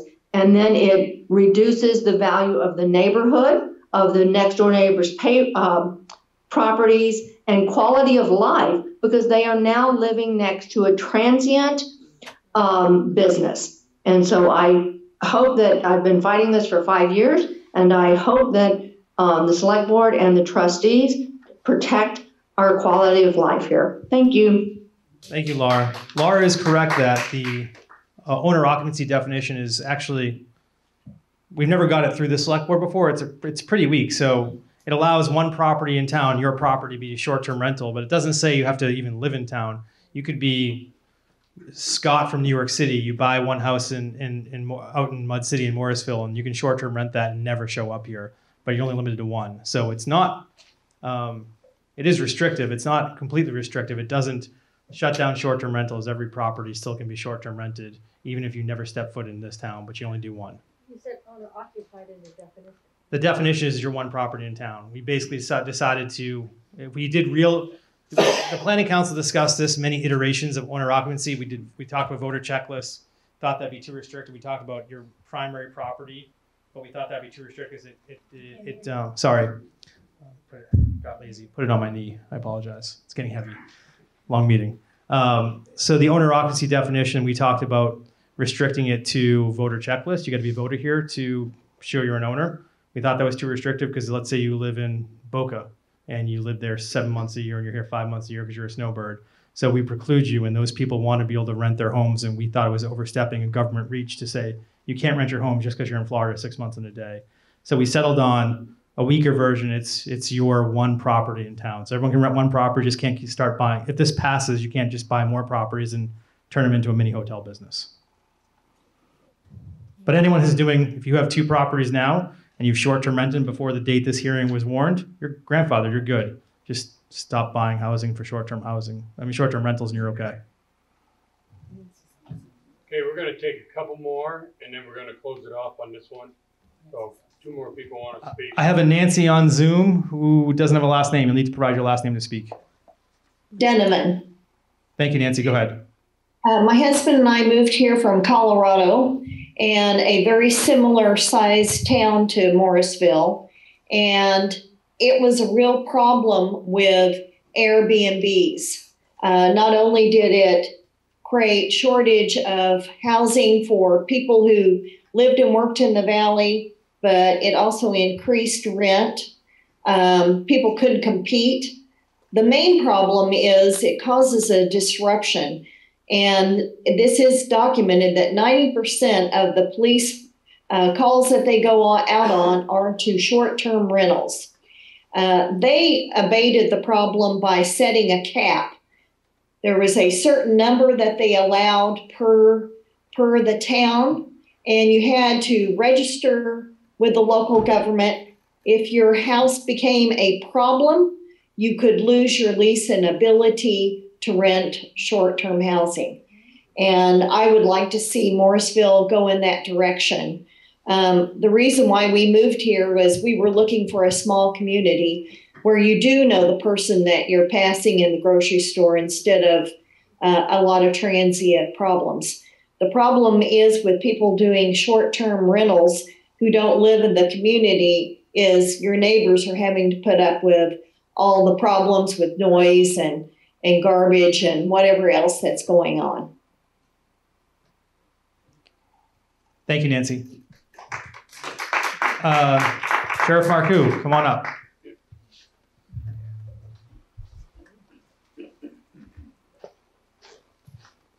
Thank you. And I'm here in my capacity not as the sheriff tonight, so. Mr. Marcoux, go ahead. Thank you. Um, I, I support short-term housing. Um, I had a conversation with Don uh, this afternoon, and he asked a question that kind of took me off guard a little bit. Is uh, what do you think? What would you do?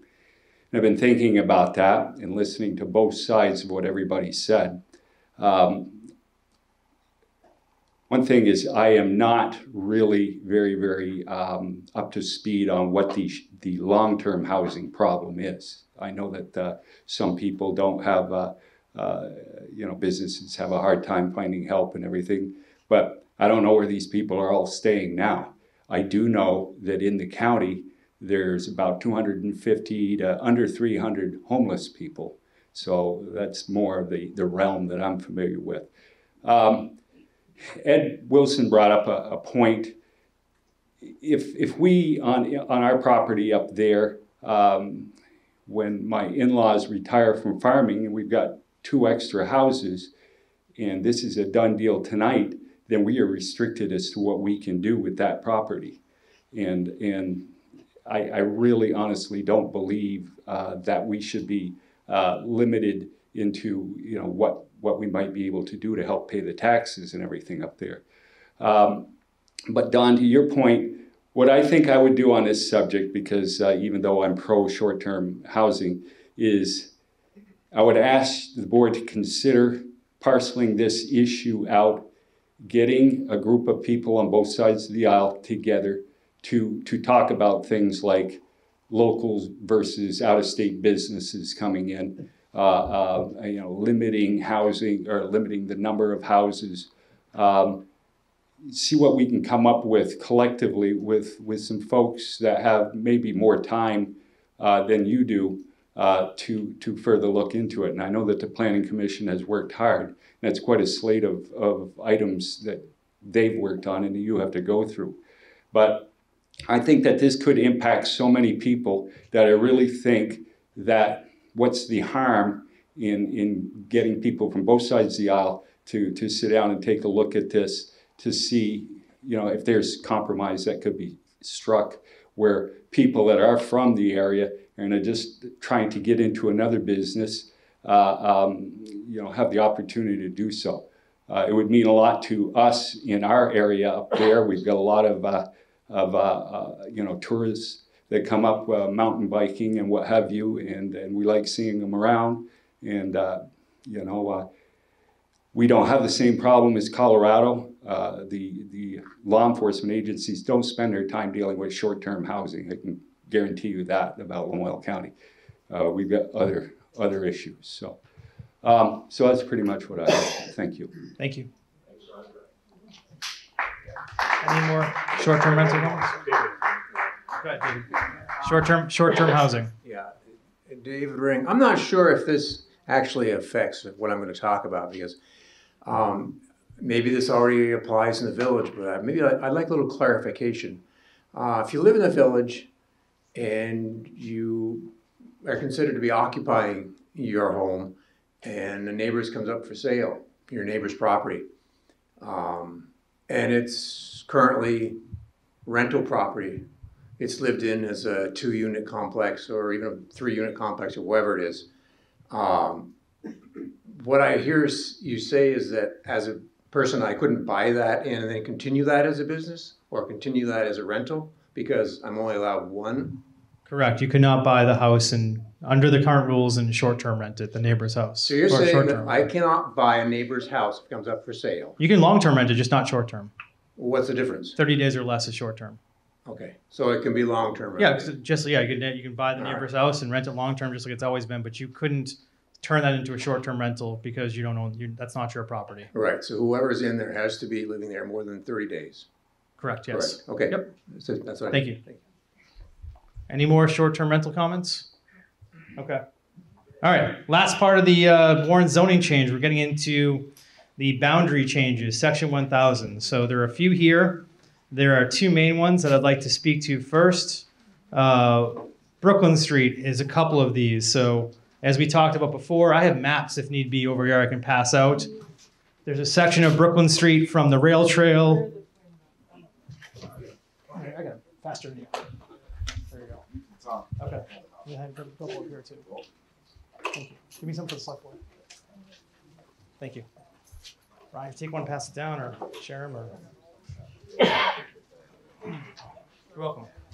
So there's a small section of Brooklyn Street from the rail, on the west side of Brooklyn Street, which is the truck route side, not the river side, uh, from the rail trail up towards Ace Glass, including the uh, funeral home, as you heard earlier, is being rezoned as part of this package. And they're going from medium density to high density residential. Really, the density is the same. The changes allows multifamily use. As we heard from Ms. Faith earlier, uh, not to pick on her, but she's right in my sights here. So it happens you sit in the front row. Uh, the funeral home property is got Brooklyn Heights condos to its rear with, uh, I think, 30 units. Uh, it's got the other side, the other rear property line. It's got the Fenimore Street Nick Donza development complex, so that's got 34 units. And to the north side, it's got a Donza apartment building with six units.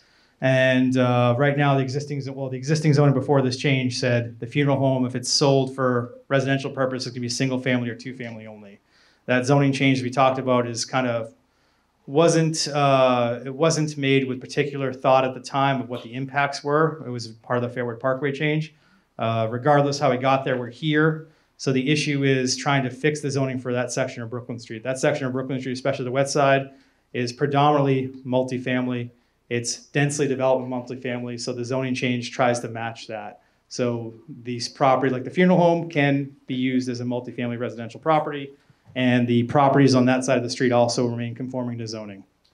So it takes the properties from the rail trail, except the Wickart property, uh, up towards the funeral home and puts them in the high density residential zone. The Wickart property is the one property that would not go HDR. That actually be part of the pink property to the south to be part of the central business zone. So I think we've discussed this for half the year now, many, many, not many times. So I'd be surprised there's new information, but Happy to talk about Brooklyn Street boundary, zoning boundary changes if anyone wants to. Yes. I know somewhere in this packet is, you've talked about the historical district. Yes. And you, it's MDH, I think. Morrisville Historic District? Yeah. Yeah, it's really the downtown. So is that, is there any way, this is off the topic, any way that that could be added to the, your rubric, your, your key? That the MDH could be added to the key? Yeah, we do that. That- That's- it's- yeah, yes, Okay. that can be done. No problem. Any other questions on the Brooklyn Street zoning change? That was easier than I thought. All right. All right, let's go to, uh, let me do my notes over here.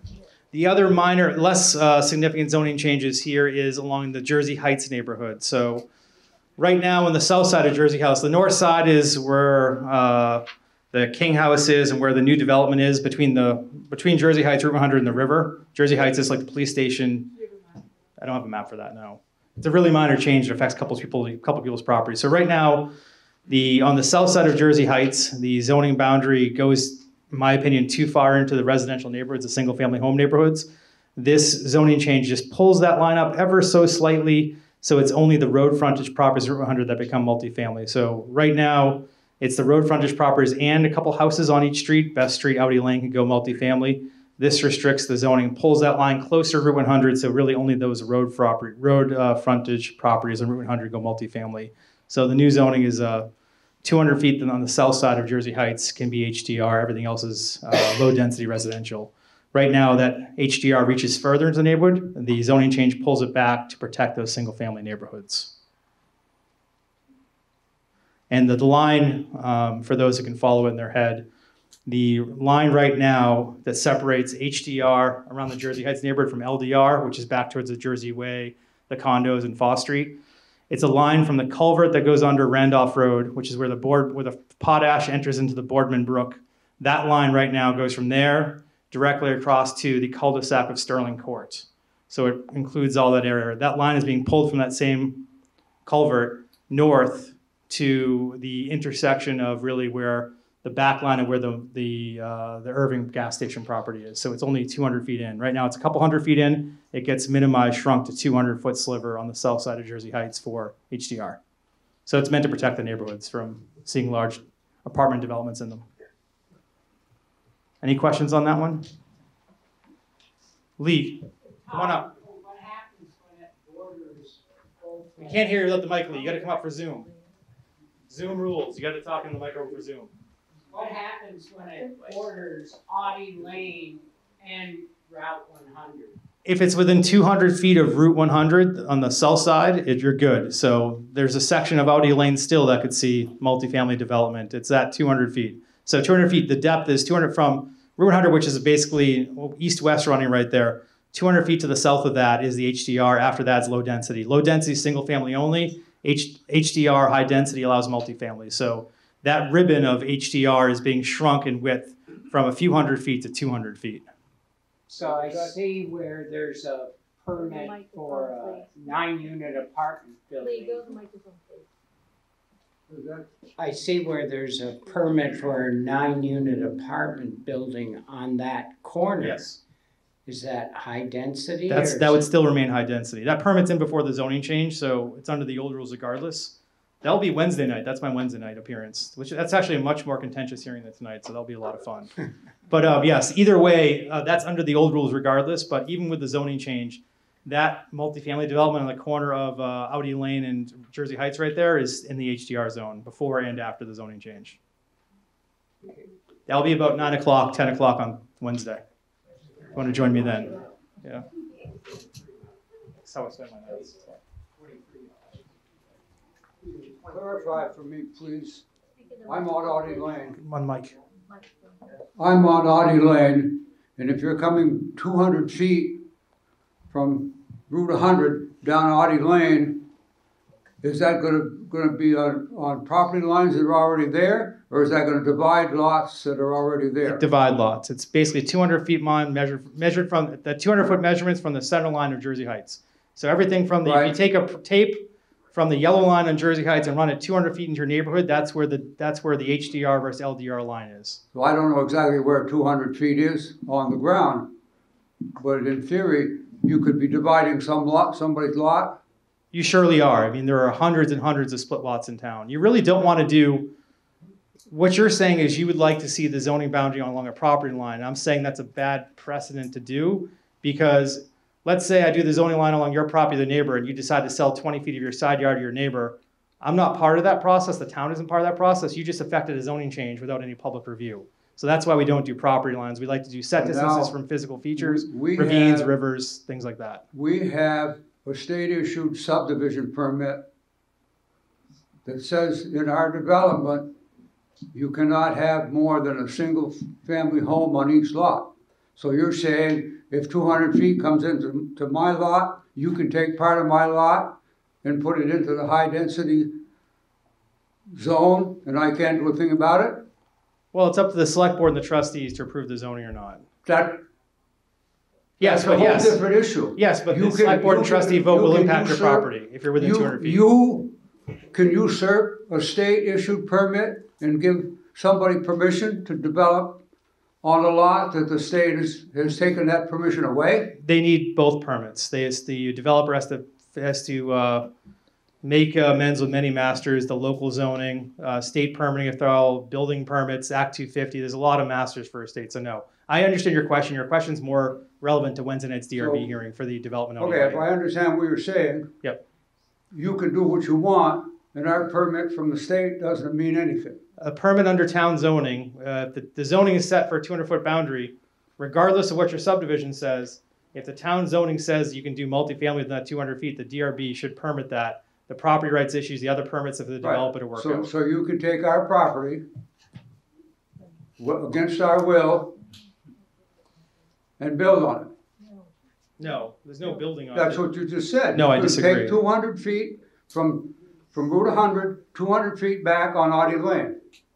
Well, Right, right now it's a few hundred feet. We're, we're decreasing it to two hundred foot, so we're, we're protecting the single family homes more with the zoning Right. change. But if I own, if I own a lot that, that's, that's hundred and fifty feet From Jersey Heights. from Route hundred. Yep. So high density residential. come in and say, somebody can build on my lot, or I, I can build on that. You gotta- you gotta sell it first. against- Against the state permit. No, they would need to, they would need to make their, make amends with the state permits too. They have many masters to meet and it's a local permitting, state permitting, Act two fifty, wherever the permit authorities would be, they have to, someone has to buy your land and they have to, Zoning designation, not being able to build on your land. Correct. That's the designation of the zone. They would have to purchase your land in order to build on it. I got a, I got a job for you, Mariah, you want, we'll trade. You did that better than I could. Yeah, You have to say that because that's unnecessary stress that's being caused for this. understood. Yeah, that, yeah, no one can build on your land unless you sell it, obviously. That's a separate DRB hearing on Wednesday night. Well, I'm not necessarily referring to my land, but that lot, whoever owns that lot can build on it. The town would allow, uh, the town could permit a multifamily use, a high density use of that lot. It's within two hundred feet of Jersey Heights if the zoning change goes through. Right now, the zoning change goes much further into the neighborhood. It's 400, 500 feet, whatever. It depends on where you take the measure, what side street you do. So we're intending to shrink the high density area to protect the single family neighborhoods, make sure they stay single family. We're trying to ensure that someone doesn't build an apartment building in the middle of Best Street or Audi Lane. Um, that's more likely to happen now in existing zoning. With the new zoning, if it's approved, uh, that will be less likely to happen. So that multifamily will only happen if it's within 200 feet of the street, uh, the center line of Jersey Heights, Route 100. On land that they had purchased. Correct, yes, on land that get purchased.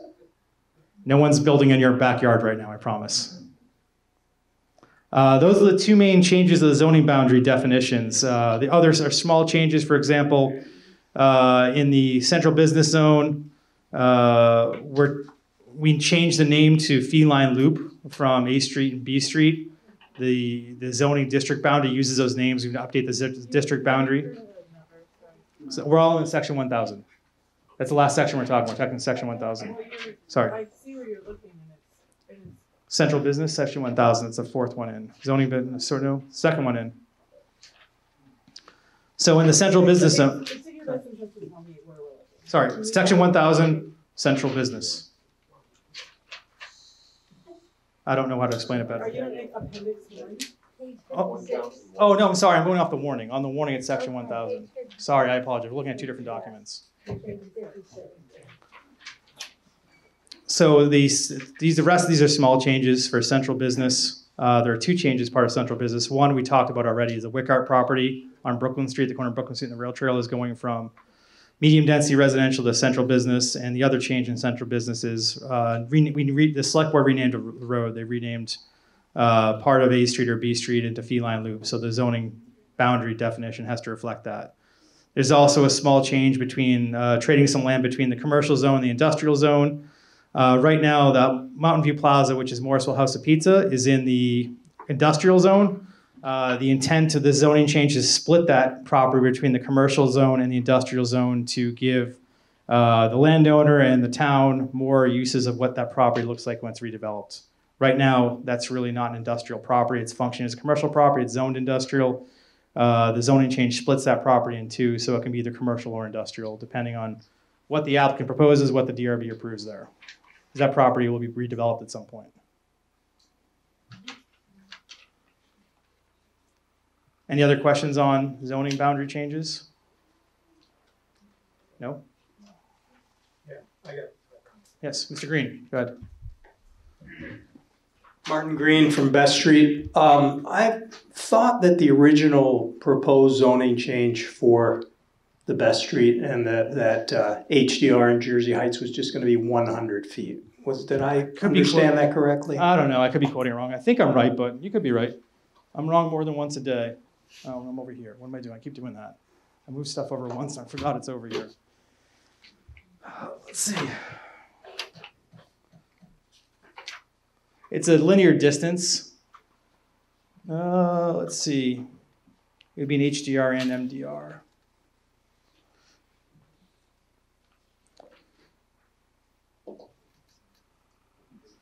It's not quite the 200 feet. I was using that more as a number. It's really what I talked about. It's from the distance, it's the measurement from the culvert under Randolph Road where the Potash Brook flows to the Boardman Brook. It's pretty close to Bourne's equipment barn.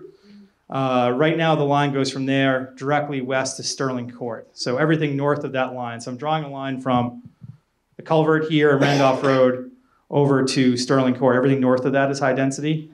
This line, it's staying here on the right, on the uh, on the east, at the culvert. Culverts don't move. They're great things to put zoning boundaries on. But instead of using Sterling Court, this line's being pushed up to um, the back property line of the Irving property. So there's there's really a consistent boundary line in the back of all those properties.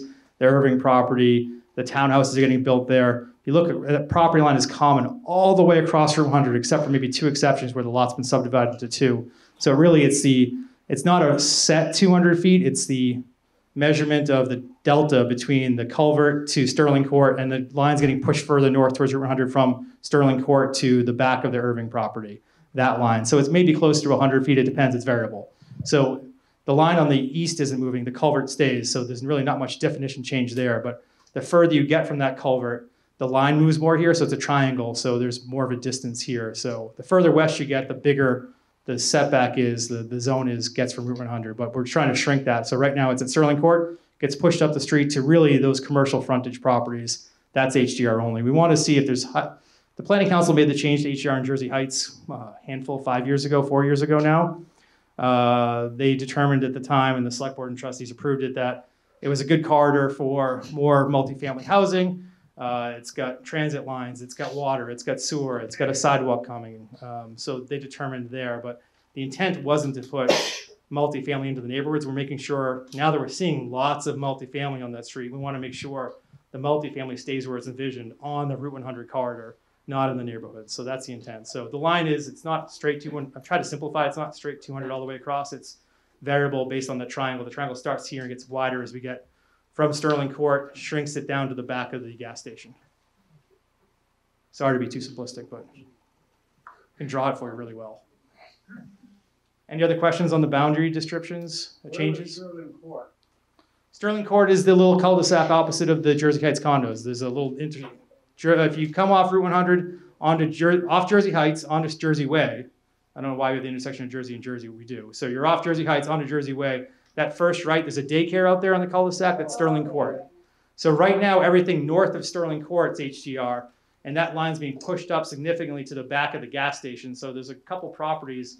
All that whole strip is there's properties that are HDR now that are going LDR, single family only with a zoning change. Any other questions on that one? That's all that I have. That's the entire warning. The, uh, so the select board uh, is going to take your comments into consideration. The trustees meet next week. The trustees meet on Wednesday at six o'clock. That's at the village offices. That room holds about 12 people. Um, so I would highly encourage you, and see if you want to sit around a staff table or a standing room only with 12 people, uh, get there early or Zoom the meeting. Or they, if they get a large turnout, they may change the location. But as of right now, it's a warrant for the village offices. And then the select board and trustees, they can't make any decisions at the public hearing. So this is chance to listen and ruminate. The statute reads they can't vote on the zoning changes until their next regular meeting. So it sounds like the select board and trustees are going to meet December 5th to vote on this. And they're not voting? We're voting December fifth. Yes. So, yeah, the, you're, you're, they're not voting on the 5th, or you both are voting? Not on December fifth, just the select board. Okay.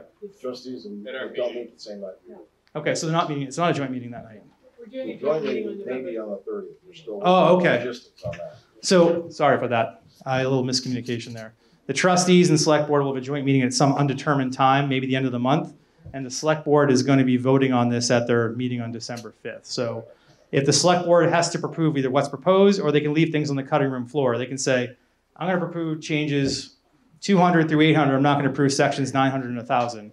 That's okay. But if they change things, then we have to do this over again in more public hearings. So they have to approve it as written or approve things without things that are written. So they can approve X, Y, and Z, but not B. That's okay, and they can approve the zoning. But if they start to change things or change definitions, another public hearing would do this over again. So we'll see how the uh, everything works out between the select board and the trustees. But ultimately, both boards have to have one zoning bylaw, one document that says the same thing that both vote, a majority of both boards vote to approve. Question? What time is the meeting on December fifth? This, Six o'clock. Six o'clock, so in theory, that's at the town offices? Yes. So get there early if you want to see it on that one too. Bob, come up to the mic, so people can't hear you if you're not at the mic. Yes, uh, Bob Bortry again. I'd like to, could I address the board with just one final comment? Um, there's been a lot of work put into these changes. The Development Review Board spent two and a half years working on this. I don't think anybody got all that they wanted to get. Um, it's a give and take process. Um, there's a lot of there's a lot of contention in the town right now over these very issues, and I would highly encourage the select board to adopt this proposal in its entirety. I think the worst thing that can happen in this process is if the select board and the village trustees start stripping things out of this proposal. I think that is going to create a, a great deal more animosity among town members. Uh, so I would ask all of us here in this room tonight, select board, village trustees, to think about what we want our community to look like. What do we want for our community? I'm not talking next month or next year, into the future. The decisions that we make now are going to have a lasting impact in the future of our community, our rural nature, and everything we all live here for. So I encourage you to adopt it in its entirety. Thank you. Anything you want to add to close out the meeting, select board members? Bob? My part of talking is done, hopefully, so the mic is yours. Thanks, Todd. Um, I'm going to close the public hearing section of our meeting tonight, and I'm going to call the select board meeting to order at 8:57. First on the agenda, are there any changes or additions, Eric? No changes. Next, approve the minutes, the minutes of select board meeting 10:17:22. I have a motion by Brian and a second by Don. Is there any further discussion on these minutes? All in favor, say aye. Any opposed? The minutes are passed. Now, the minutes of Select Board Meeting 11-1-22. I have a motion to approve them by Brian. Do I have a second? Second by Don. Is there any further discussion on these? All in favor, say aye. Any opposed? The minutes of 11-1 have been passed. Now we have liquor control. Do I hear a motion to go into liquor control? I have a motion by Judy and a second by Brian. All in favor, say aye. Any opposed? We are now in liquor control. So the state of Vermont has decided after reviewing the law relative to tobacco, the word cannabis is here. However, this is about tobacco regulation, which falls under the jurisdiction of liquor control. So through the whole cannabis legislative piece, they reread the statute on the regulation of tobacco. And where for years, they've taken it upon themselves to regulate tobacco and let liquor licenses liquor control boards. They realized that they were working contrary to state, state law. So they have now backed away. And even though it's Lamoille County cannabis, this is about the regulation of, or the sale of uh, paraphernalia, what we used to call it. Call it what you want to now. It's the pipes, uh, the bombs, you know, that kind of stuff. That they need a permit for because it's for the use of smoking tobacco products. So Lamoille County Cannabis has applied for a permit. Lamoille County Cannabis has applied for a permit to sell products that are used for smoking tobacco products.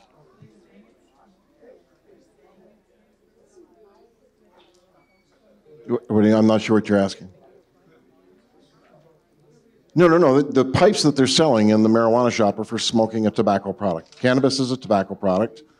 So the, the pipes and whatnot that were previously regulated by the state, they're saying they don't have the right to do that. It has to be done through the local liquor control board.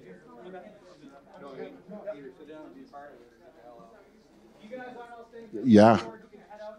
I suppose you could put uh, black and mild, black and mild into your bong, but yeah, yeah. No, they're not selling cigarettes. This is this is for the. I- I'm sorry, my law enforcement days calls it paraphernalia, but it's probably something else they, they've described it as now. So inventory, right? So. so they're looking for approval on their permit for that.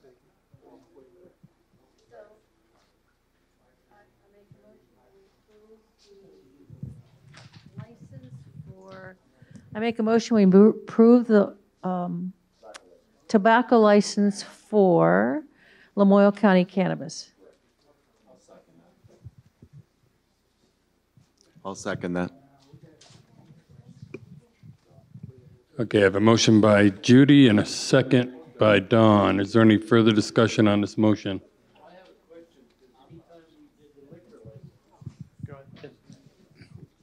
So anytime we've ever done a liquor license, we give the, the license, but the state of Vermont oversees, if they don't give it, they don't get them, right? Right, this is the first step. We have to give the license at our level, state then only treated license at the state level. And that is regulated by the state. Yes, tobacco, the tobacco sale or the, the sale of the products that are used to smoke tobacco uh, will be regulated and checked on by uh, the state liquor control officers, not by locals. We just issuing the license, local license.